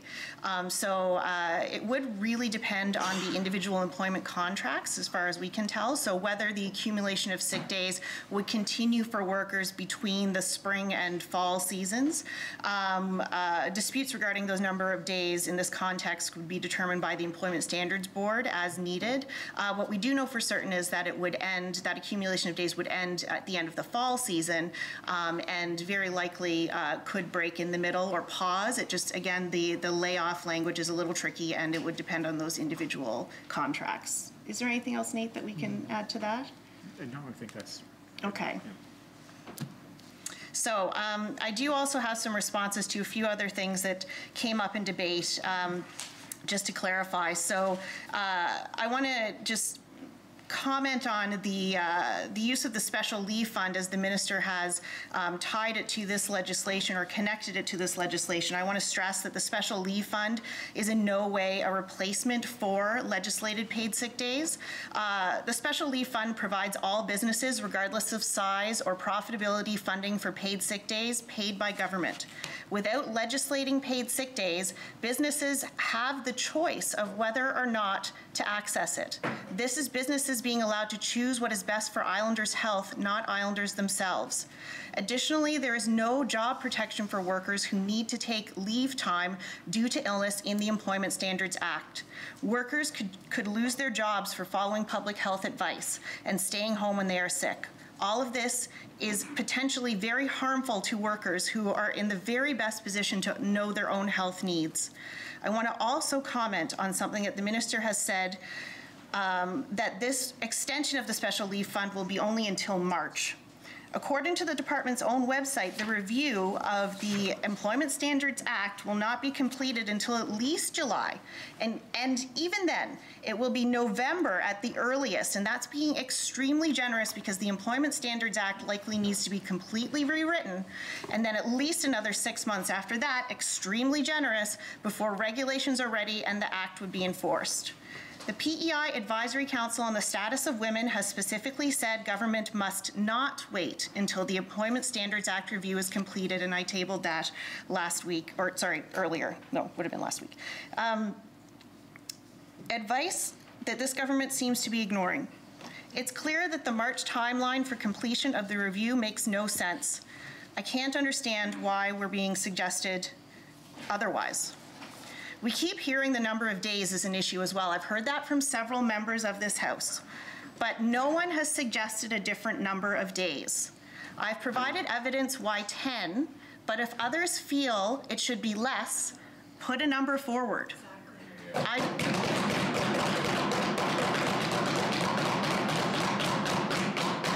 I have shown a willingness to engage in this debate in good faith and make changes and compromises to get the strongest protections for workers that I can. And I think we can all agree that the number of days is not zero. The only groups pushing for zero days right now are business lobby groups. That's it. Will this government and third-party members ignore all of the evidence I have brought forward to show the benefits of paid sick days for workers, businesses, the economy, our healthcare system? Will they choose to listen only to these business lobby groups and ignore everyone else? Every other group who has spoken in support and stressed the urgency of legislating paid sick days now. When considering their vote on this bill, I ask that members of the leg- Legislative Assembly consider all Islanders when making your decision. I ask you to think of the constituents you were elected to rep- represent.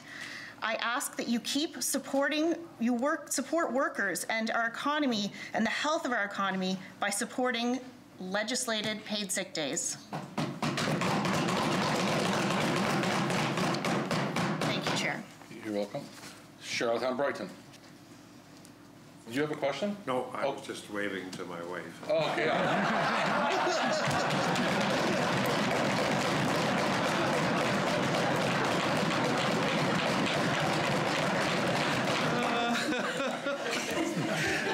Okay, are there any questions? Okay, shall the bill Shall the bill as amended carry, sorry? Does, did you point? I'm, I'm hearing things, I'm hearing gesturing, I'm I'm seeing gesturing. There, is there somebody over on this side that has a question? Okay, Economic, Minister of Economic Growth, Tourism and Culture. Thank you, Chair. Uh, Thank you, uh, members, and uh, thank you, member, for bringing this forward. And as I said, uh, I don't think there's anybody in this House that's against paid sick leave. And uh, I will, I, I have made, uh, I have signed an application to go to Treasury Board to extend the special leave fund, and uh, it's not, uh, I know it's not perfect, but uh, I think until the final report, which I am told will be done in March, and I will hold them to that.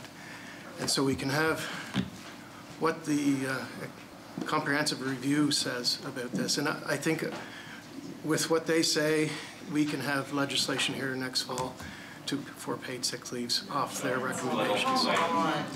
Uh, So Not a chance. You know better Yeah, the honourable member uh, has the floor.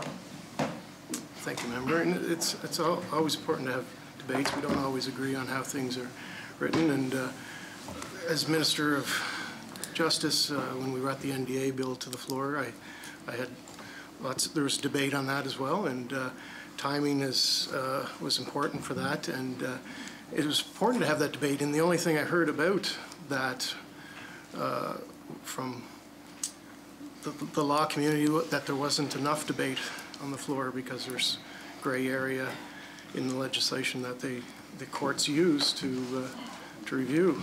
And, uh, on, so, so I, you know, debate is important and, uh, I will ensure that the special leave fund, it's not perfect, but I will ensure that, uh, it, it covers, it, it does, you know, uh, it does care for the children and the family members requiring uh, special leave, so that cannot attend school and stuff. So it does cover that. So it's not perfect, and I'll make sure it's, it lasts until we get a review in place. So thank you, thank you, Chair. Thank you. May I respond to Sure. that? Um, So respectfully, uh, businesses having the power to make decisions about uh, the health and well-being of their workers is, is far, is not just not perfect, it's completely unacceptable. It really is.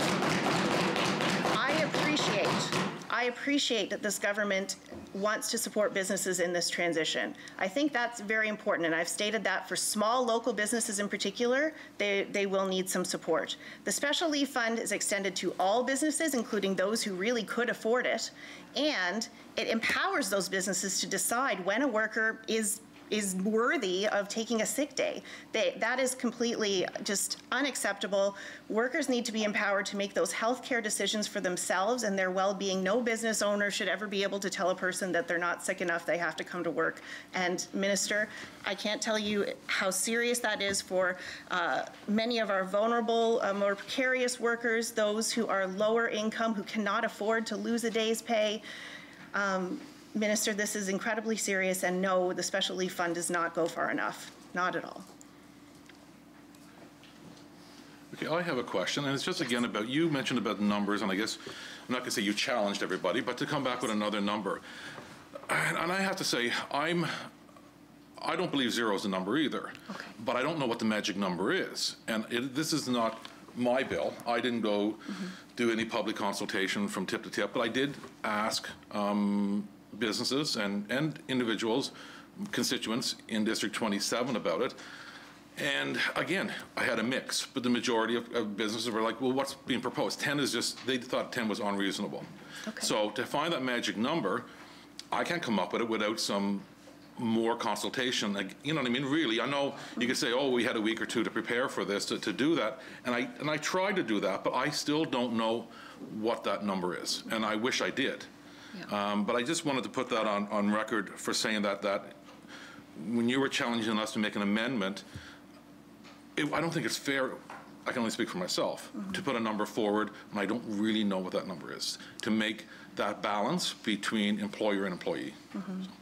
And uh, Chair, I do appreciate the challenge of choosing a number. For me, the number 10 was chosen based on evidence uh, based on other jurisdictions around the world and what, uh, you know, the, the, uh, what we're seeing here in PEI in terms of the actual number of days that workers need um, in a year to, to maintain their health, that, what, that they need to take. It is 10, that is the number. Now, if we do not feel here today as a legislative assembly that we can go as far as 10, I, I think it would be um, a, just completely just disappointing and heartbreaking for those workers to have absolutely no protection uh, when no one is brave enough to say what number they think it should be to start.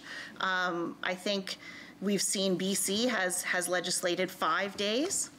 Um, Ontario, uh, as I understand it, has three. I think five, you know, is something that, as I said, we've seen in BC. Federally, it's 10 for workers. So, you know, there are precedents, there are um, places to look to for what other numbers could be. Um, but to simply say, well, I don't like 10, so we'll just throw this all away um, is disregards the the position that puts workers in, uh, as well as all of the benefits that I've tabled. It you know so much research, so much evidence to show why paid sick days actually you know is results in a more productive economy, makes businesses more resilient and productive, less sick days overall because workers are not going into work sick, making other people sick. Um, to disregard all of that, uh, I think would be uh, just absolutely tragic. And um, I know, I know, I'm, I feel, I know we can do, we can do better than that. So I would love to see someone be brave enough to say, okay, here's where we should start then. If not 10, where? And I will add to that, the word brave is kind of challenging, and it's a bit putting it back on us. This is not, this is not my bill that I put forward, right? So you brought the number 10. You're now saying the reasons why you put number 10. You're asking us, challenging us to put a number forward, um, to open that debate on that. I stated, I don't know what that number is. I really don't, without proper public consultation to find that balance of what would work here in Prince Edward Island. I can't just throw a number out and, and think that that's going to work. So that would be very unfair for me to do so. So I just want to make sure that um, that is on the record that I will not be brave enough to just throw a number out there for the uh, collaboration of a bill passing without having that proper balance, employer-employee across Prince Edward Island. And I will just say that I have provided strong evidence for why 10 is actually the number that's needed. So, you know, what I would love to see is us pass 10, because I do think that's what's needed. But um, if we can't get to 10, I do think we can make some progress. Now, I appreciate what you're saying, uh, but I also recognize that the easy way out is to simply ignore all of, all of the evidence, all of the groups who have spoken in support of this and, and stress the need um, to legislate paid sick days to protect workers. I think, you know, we, what we do here in this legislative assembly is debate legislation. Um, So if a discussion on the number of days is what the House wishes to have, if you say 10 is too much, but we do need paid sick days, we need to engage in that discussion. Um, Did you want to add anything at this time? Okay. Okay, and I was just Okay. going to reply, if, if I was, if you were brave and confident to use 10, Mm-hmm. then there should be no openness to go with another number. So, that- but that's what I'm saying. So you're challenging me to saying that I'm not brave enough to put a number out there. But you're brave, and you're saying you're brave enough to put 10 out there as a number, but yet you're I willing am. to, to negotiate that number. So I, I need to have confidence in anything, any legislation that goes through this House that is going to benefit not only my district, but even as the economic development critic for the island, um, that it, it's there to protect and in the best interest of all. That includes employers and employees. So I need to have that confidence that this bill, if it was 10 sick days, is going to, and I- I'll keep use- using the word balance, there needs to be balance here. So whenever you say that, I guess it is, it's that challenge that you're putting out here that I'm, I'm a little bit offended by because it's not my bill. And I didn't do the consultation uh, to, to change that number yet. And, you know, I, I did ask in my district, and I can't use asking 10 people or, or 10 businesses as a fair number to, um, to be accurate across Prince Edward Island. I just wish I knew what that number is. I'm not saying zero.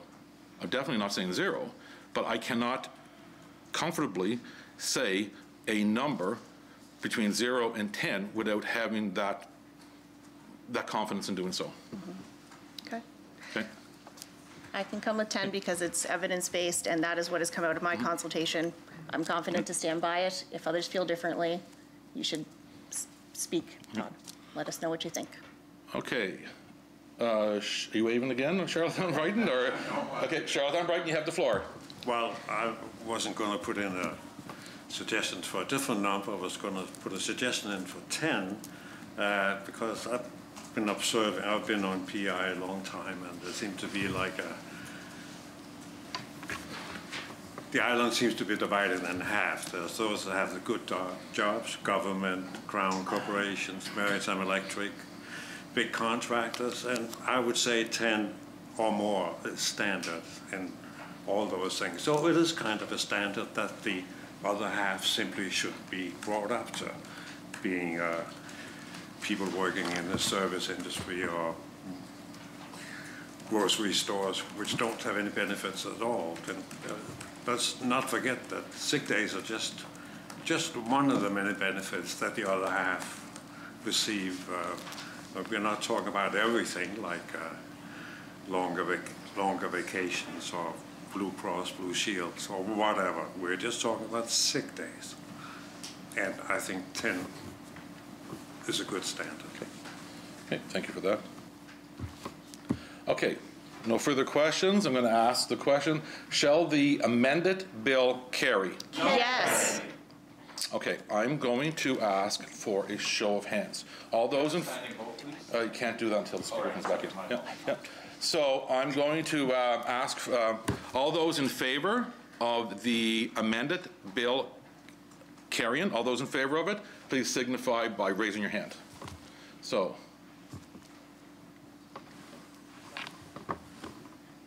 Okay. All those not in favor or against the amended bill going forward, please raise your hand.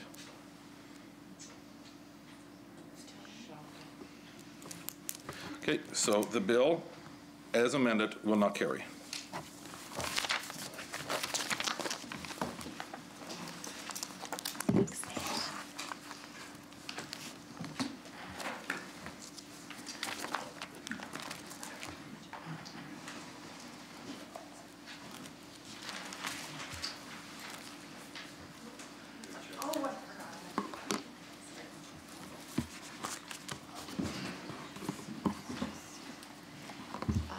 Mr. Chair, I move the speaker take the chair and let the chair report the bill not recommended. Shall it carry? Carry.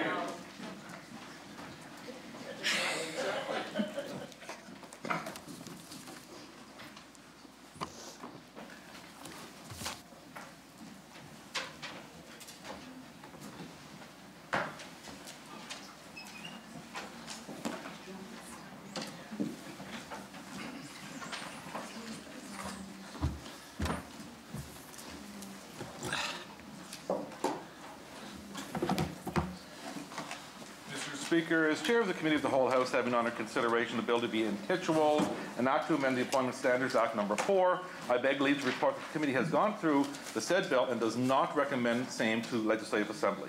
I move that the report of the committee be adopted. Shall it carry?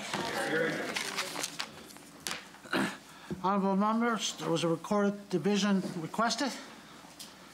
Sergeant at Arms, you may ring the bell.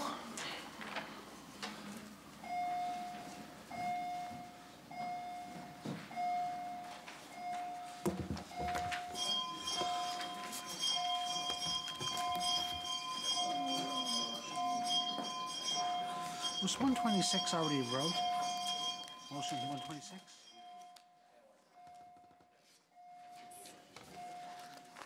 I have to go look for it. Oh, yeah.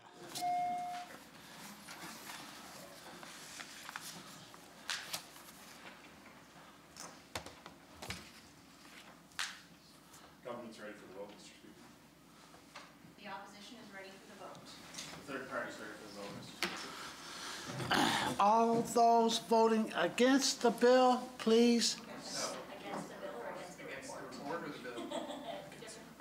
Against the report. Sorry. Thanks for the clarification.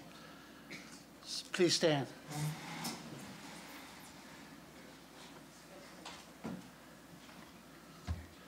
The Honorable Leader of the Opposition, the member from Summerside Wilmot, member from Mermaid Stratford, the member from Charlottetown Victoria Park, the member from Charlottetown Belvedere, member from Charlottetown Brighton, the member from Tyne Valley Sherbrooke, and the member from Summerside South Drive. All those voting for the report, please stand.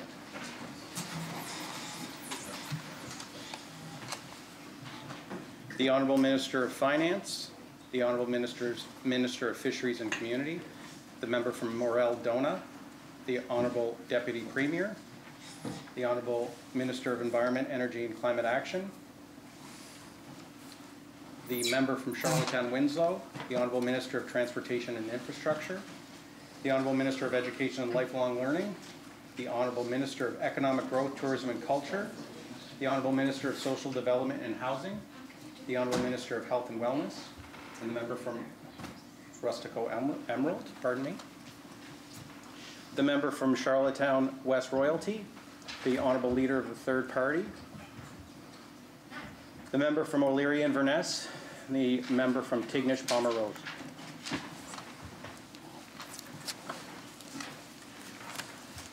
The honorable member from Mermaids. Oh, sorry. Mermaid Stratford. Mr. Speaker, I ask that uh, motion 128 be now read. Shall it carry?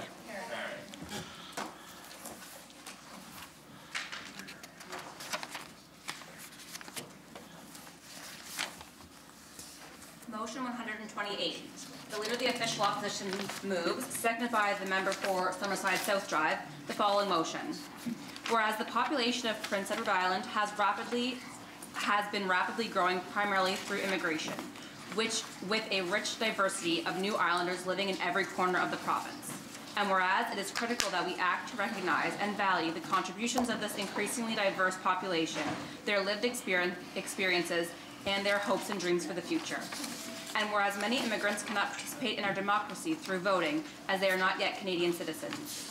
And whereas immigrants pay taxes, are subject to our laws, and contribute substantially in many meaningful ways to our society and our economy. Mm-hmm. And whereas providing an opportunity to better understand and be able to participate in civics will help with retention of immigrants to the province by ensuring that their voices are heard. And whereas municipal and school board representation is often the first step to political engagement. And whereas the Municipal Government Act and the Education Act are within provincial legislative jurisdiction.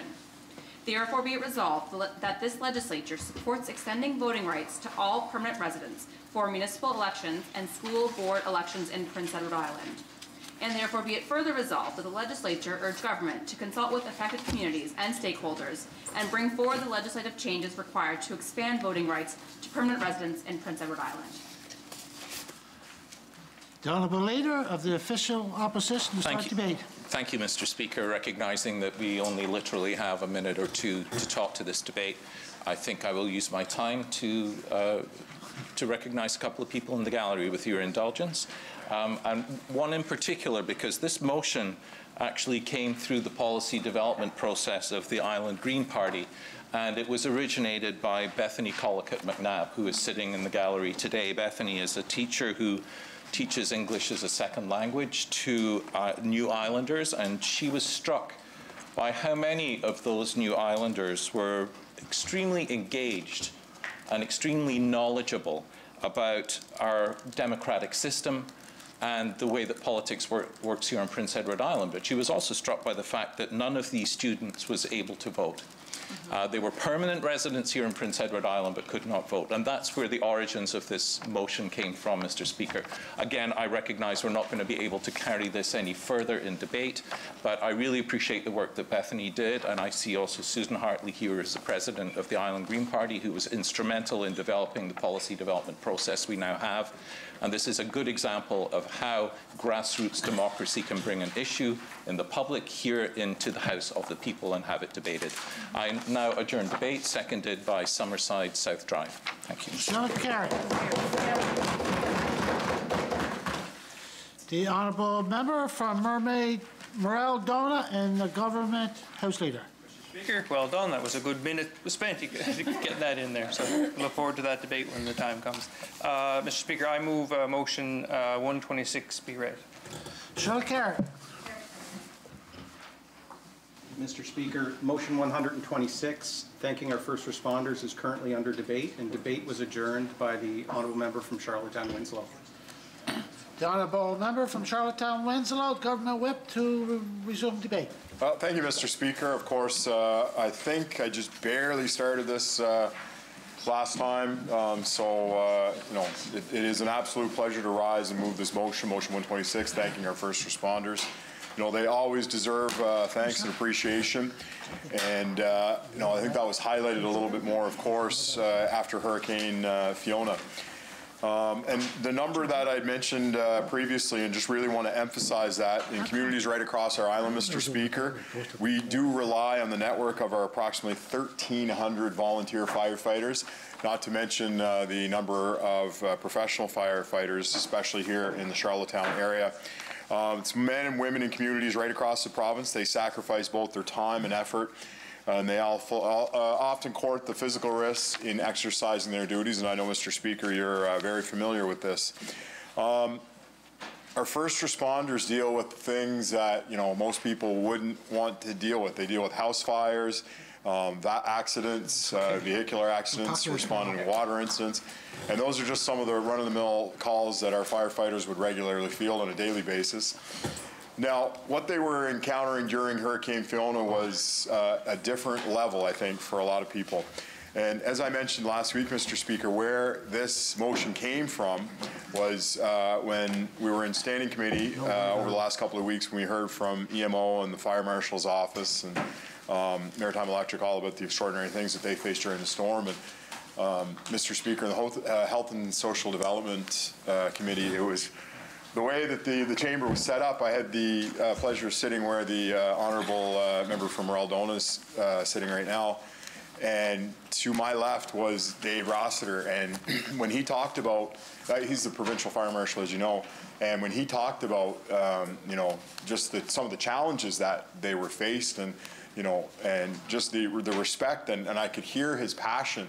And you talk to any first responder, and like, you know, that is their passion is to be those first responders on the scene and some of the things that they have to see and they have to deal with. You know you wouldn't really wish it upon anyone.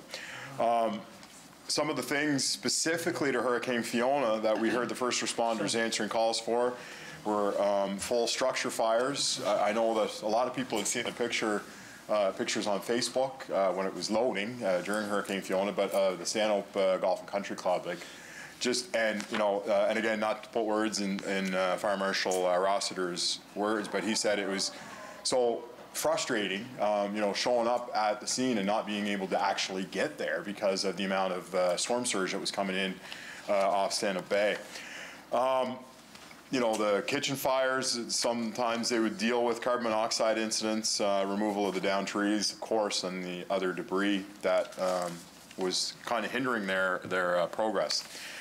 Um, you know, any of the calls that would be challenging on their own, but dozens of these calls were coming in at the same time, and, you know, the, the challenge rises. So those first responders, again, they, they made, they did such great work during Fiona, but they do this on a regular, everyday basis.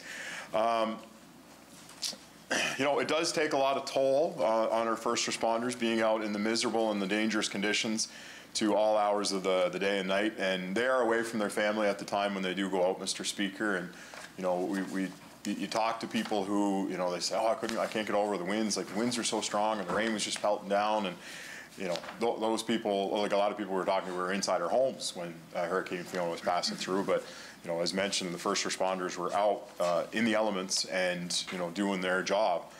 Um, you know, Mr. Speaker, uh, I've never been a first responder myself, so I, I like I said, I, I feel bad talking about this issue because I'm really trying to talk, you know, from other other, other people's perspectives, and you know that that a lot of times it doesn't do it any justice whatsoever, um, because again, you know, they're the first responders, they're the first people on the scene, and they they're the ones that you know they have those uh, images in their minds, and you know, again, like I said, maybe not being able to do and help out to their full extent.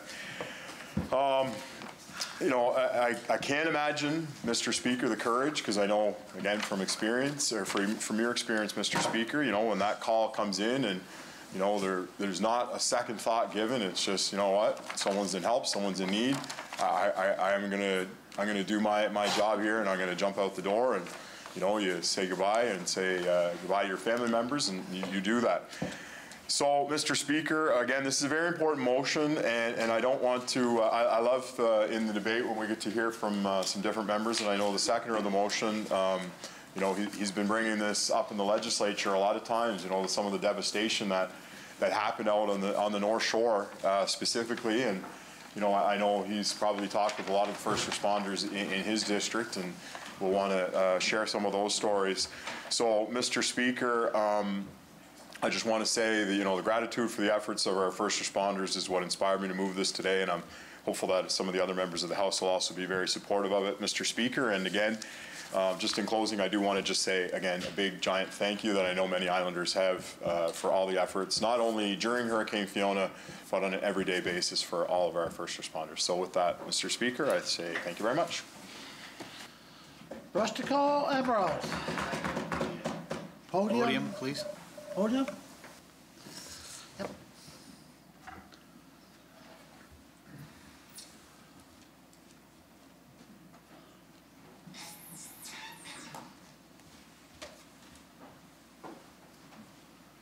Oh, Marissa, Marissa, Way up in the corner.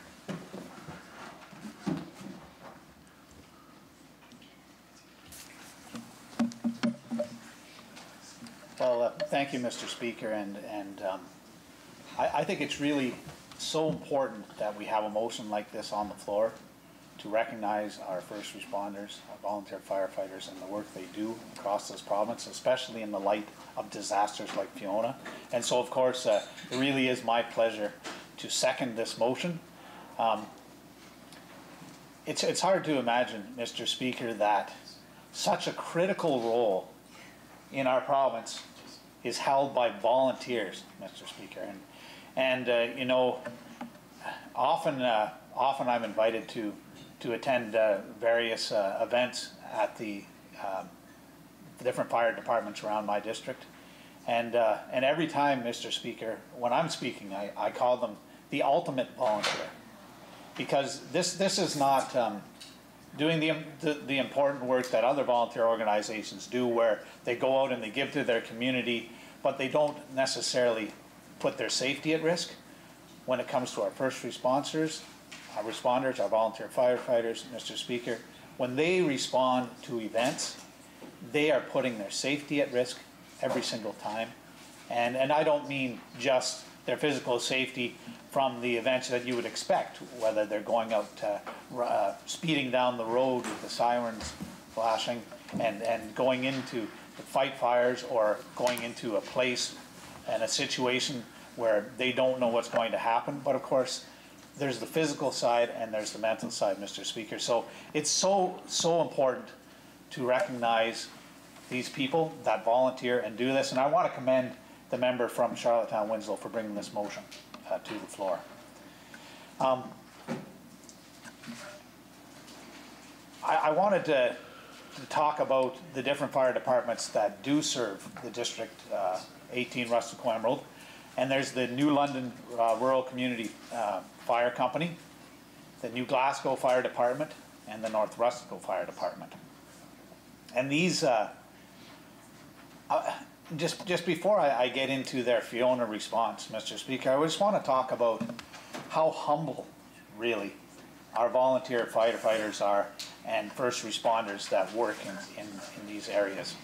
Uh, these are people that go out and they, they work very hard at their day jobs, and then they dedicate hours and hours and hours. And in fact, Mr. Speaker, in order for them to get any sort of uh, you know, comp compensation for the work they do. And I, I know I don't have to tell you because you are, of course, a long, long time volunteer firefighter, but these volunteer hours are required in order to get the small, I mean, I don't even think compensation is the right word for it.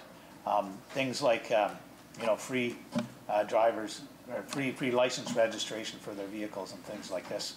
And if there's anything that uh, we can do to support firefighters more, I think we should do it. And I'm going to talk a little bit later on about a couple of uh, fire, volunteer firefighters and first responders that actually traveled to an international conference. Uh, but along those lines, I wanted to I wanted to read a post um, that was on the, the New Glasgow Fire Department Facebook page from September 24th, 2022. It was posted at 11:48 p.m. Okay, so uh, as you can imagine, September 24th. This is right in the just just after the heart of, of Fiona has passed.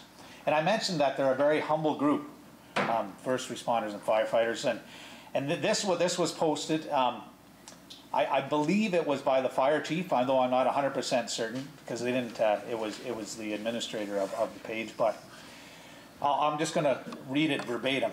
it was a quote.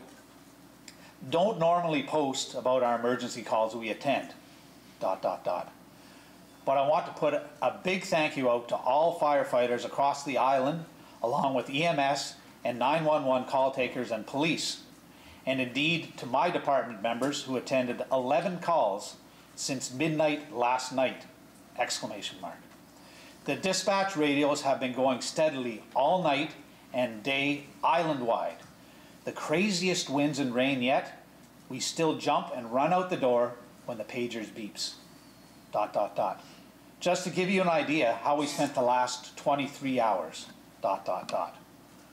We rescued a farmer off a barn roof with our aerial ladder, helped evacuate families whose roof was ripped off and houses flooded, cardiac arrest call, two major structure fires, water rescue call of a stranded vehicle on washed over road, trees fallen over on a camper at a campground.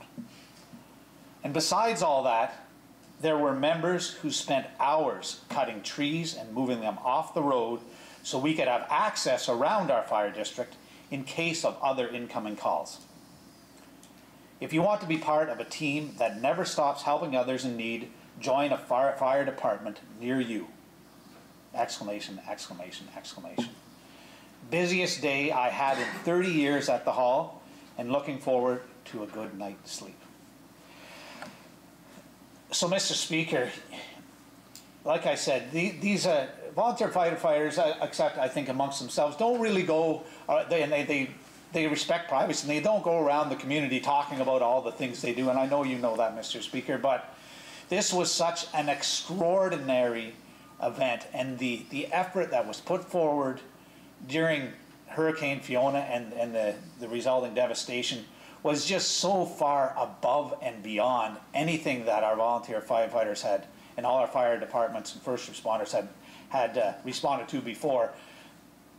This person, and I believe it was the chief of the New Glasgow Fire Department, felt they had to comment and say it. And you notice, Mr. Speaker, they didn't talk about just their fire district or just the fire districts in the area, like in, New London, North Rustico. They were saying across the island.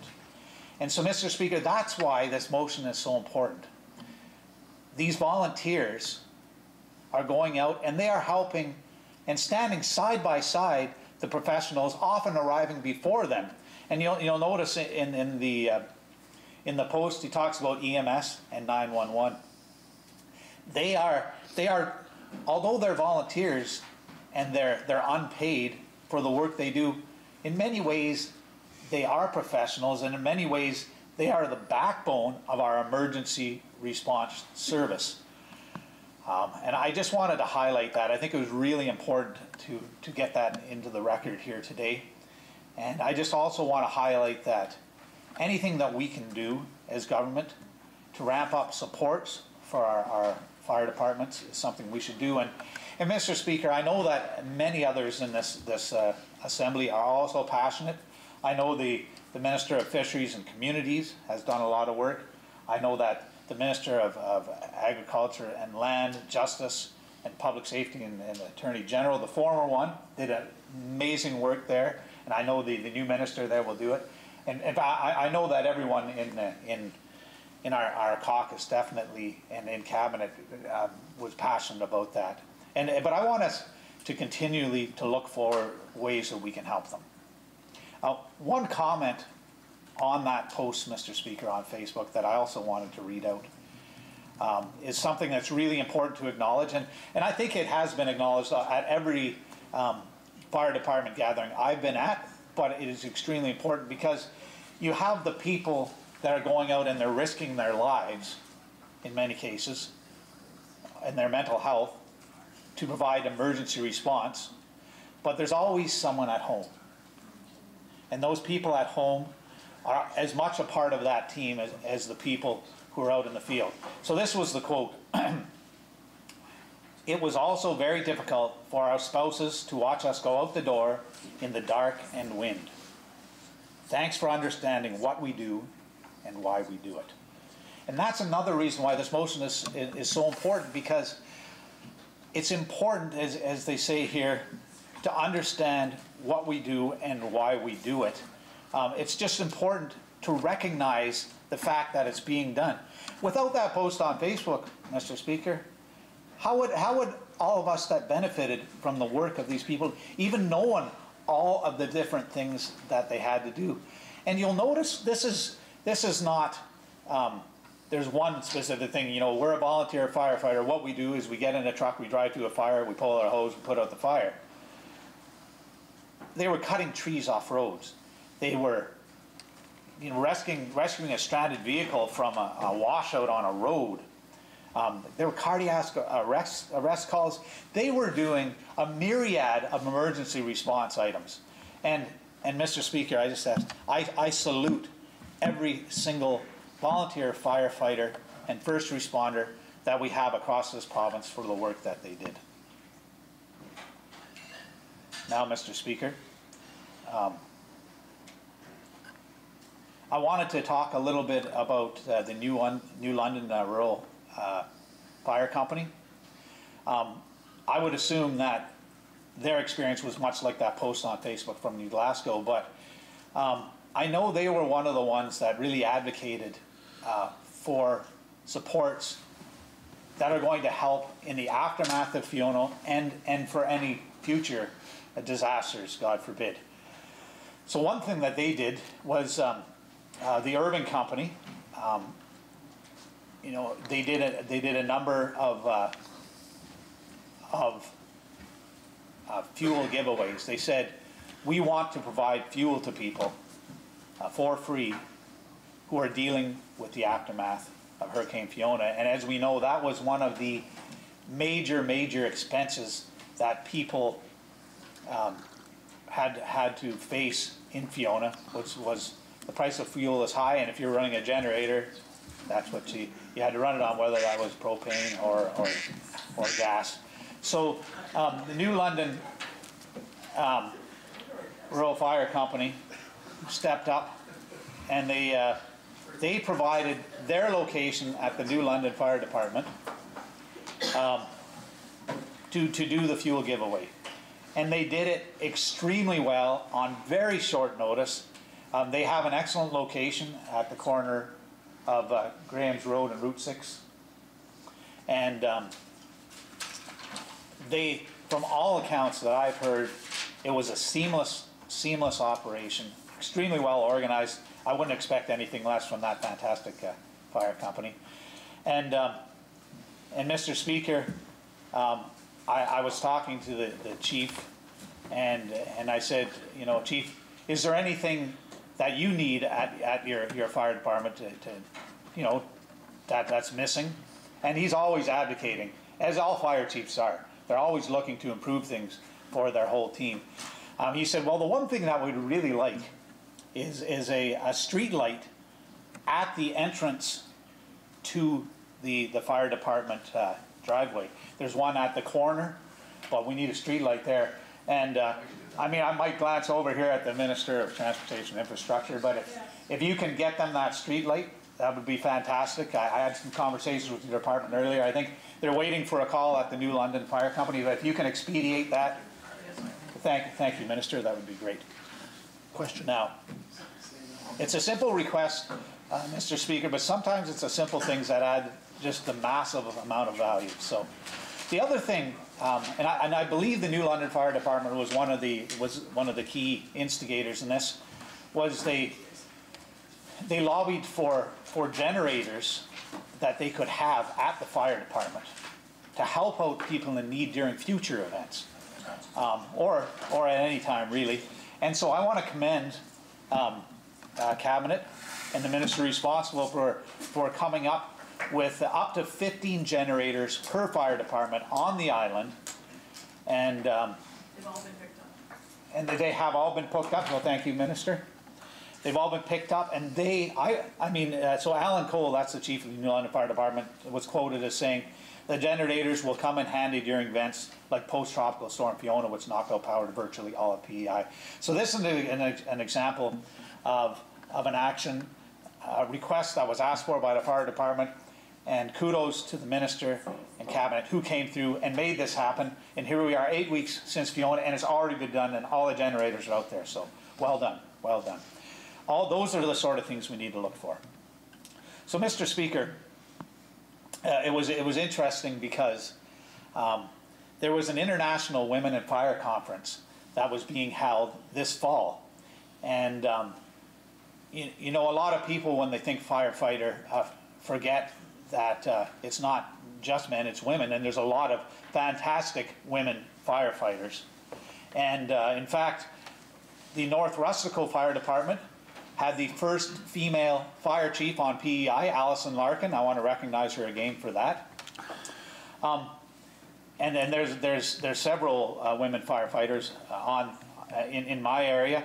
Um, in fact, I'm probably going to miss some of them, but I know in North Rustico Fire Department, uh, uh, Aubrey McDonald and Laurie Dempster are a couple. Apologize to those I might be missing. Apologies, I should say. Um, but there were two uh, two firefighters from New Glasgow that wanted to attend this International Women in Fire Conference, and I believe it was down, um, I believe it was in Florida or somewhere in the southern U.S. So that was uh, Julia Summers and Megan Court, and so they took it upon themselves to raise the money that was needed to get the, the flights down there and pay for the conference itself. And, um, and Mr. Speaker, I have to point out that they were the only volunteer firefighters that attended the International Women of Fire Conference. Everybody else there did that for a living and they were paid firefighters. So I want to give kudos to them. I want to recognize them for making that happen. Um, and, and, you know, in the future, when those sort of things uh, come up, I'm hoping that our government can step forward and maybe provide a few more supports for them. I, I'm not sure they really uh, got that much help from government. So I'm going to lobby for in advance that uh, that we support those things in the future. I think it's important. But it was um, it was really uh, it was really interesting to see. Well, two things. First of all, the community support to support um, these ladies going to that conference was incredible. And they they actually singled out. They said they said it was our fellow firefighters who were the ones that provided them the most supports, Mr. Speaker. They you know, bought tickets on their draws, bought our leftover stock, um, and, and, and those sorts of things. But the other interesting thing, Mr. Speaker, is guess when the conference was? It was actually during Hurricane Fiona. So they were down at the conference on, on, on September 23rd, uh, was the day three of that conference.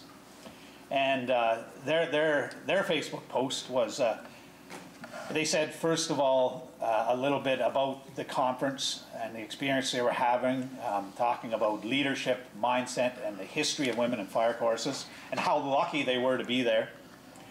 Um, but they also said, of course, we are thinking of our fellow firefighters at home, gearing up for the weather, stay home. This is before Fiona hit. Uh, but that, that's what firefighters are. They're always thinking about others, they're always doing for others, and they're always trying to make themselves better so they can help others. Um, yes, it, it, was in Florida. Um, so even though they, they weren't here for Hurricane Fiona, um, the Florida heat uh, was 90 plus degrees, and uh, they, they started at 6, 6.15 a.m., and they did a whole number of activities. So it was, it was very useful, and uh, once again, I want to put a, a plea out here to support those sort of uh, uh, endeavors from our firefighters in the future. More support. Um, And I should mention as well, uh, Mr. Speaker, it was, uh, they actually had to bring their uniforms, their bunker gear with them when they flew down to the firefighter conference. And so that, that was, uh, that was really something, 200 pounds of luggage that they took with them to be prepared. Um, Mr. Speaker, I've talked a lot today about how important it is to provide support to our firefighters. And one thing I wanted to uh, talk about was, was a time when we collaborated in this legislative assembly um, under the last administration. Uh, the leader of the third party was minister, I believe, at the time, responsible for uh, the Workers' Compensation Board. And the Minister of Fisheries and Communities brought a private member's bill to the floor. And that was to um, really uh, make it so that island workers who are suffering from post-traumatic stress disorder could actually qualify for workers' compensation. And so I, I want to give kudos the Minister of Fisheries and Communities, the leader of the third party, and all those uh, who, who worked together to make that happen.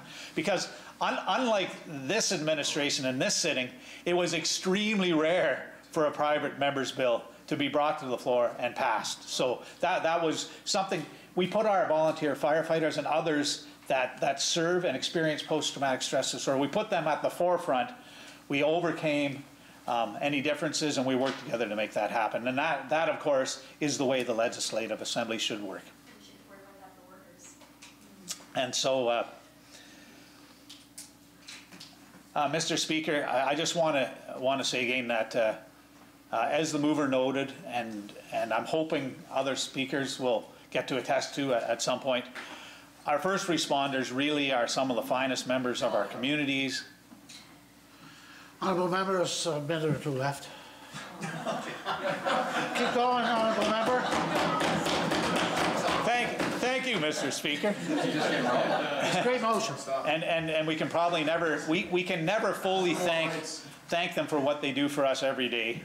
But I am so extremely pleased to support this motion, to support our firefighters and our fire, volunteer fire departments and everyone that helps out. And I really encourage all members to do the same. Thank you, Mr. Speaker.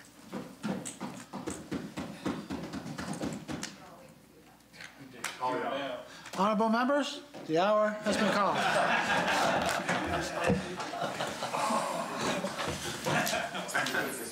Do you want to uh, adjourn debate? Honourable member, adjourn debate with uh, seconder? Honourable member? Rustico. I would like to uh, move that adjourn, debate be adjourned, uh, seconded by the uh, Minister of Economic Growth, Tourism and Culture. Shall it carry?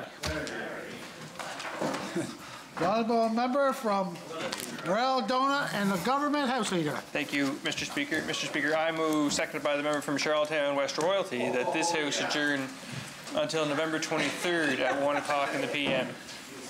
Shot a carrot.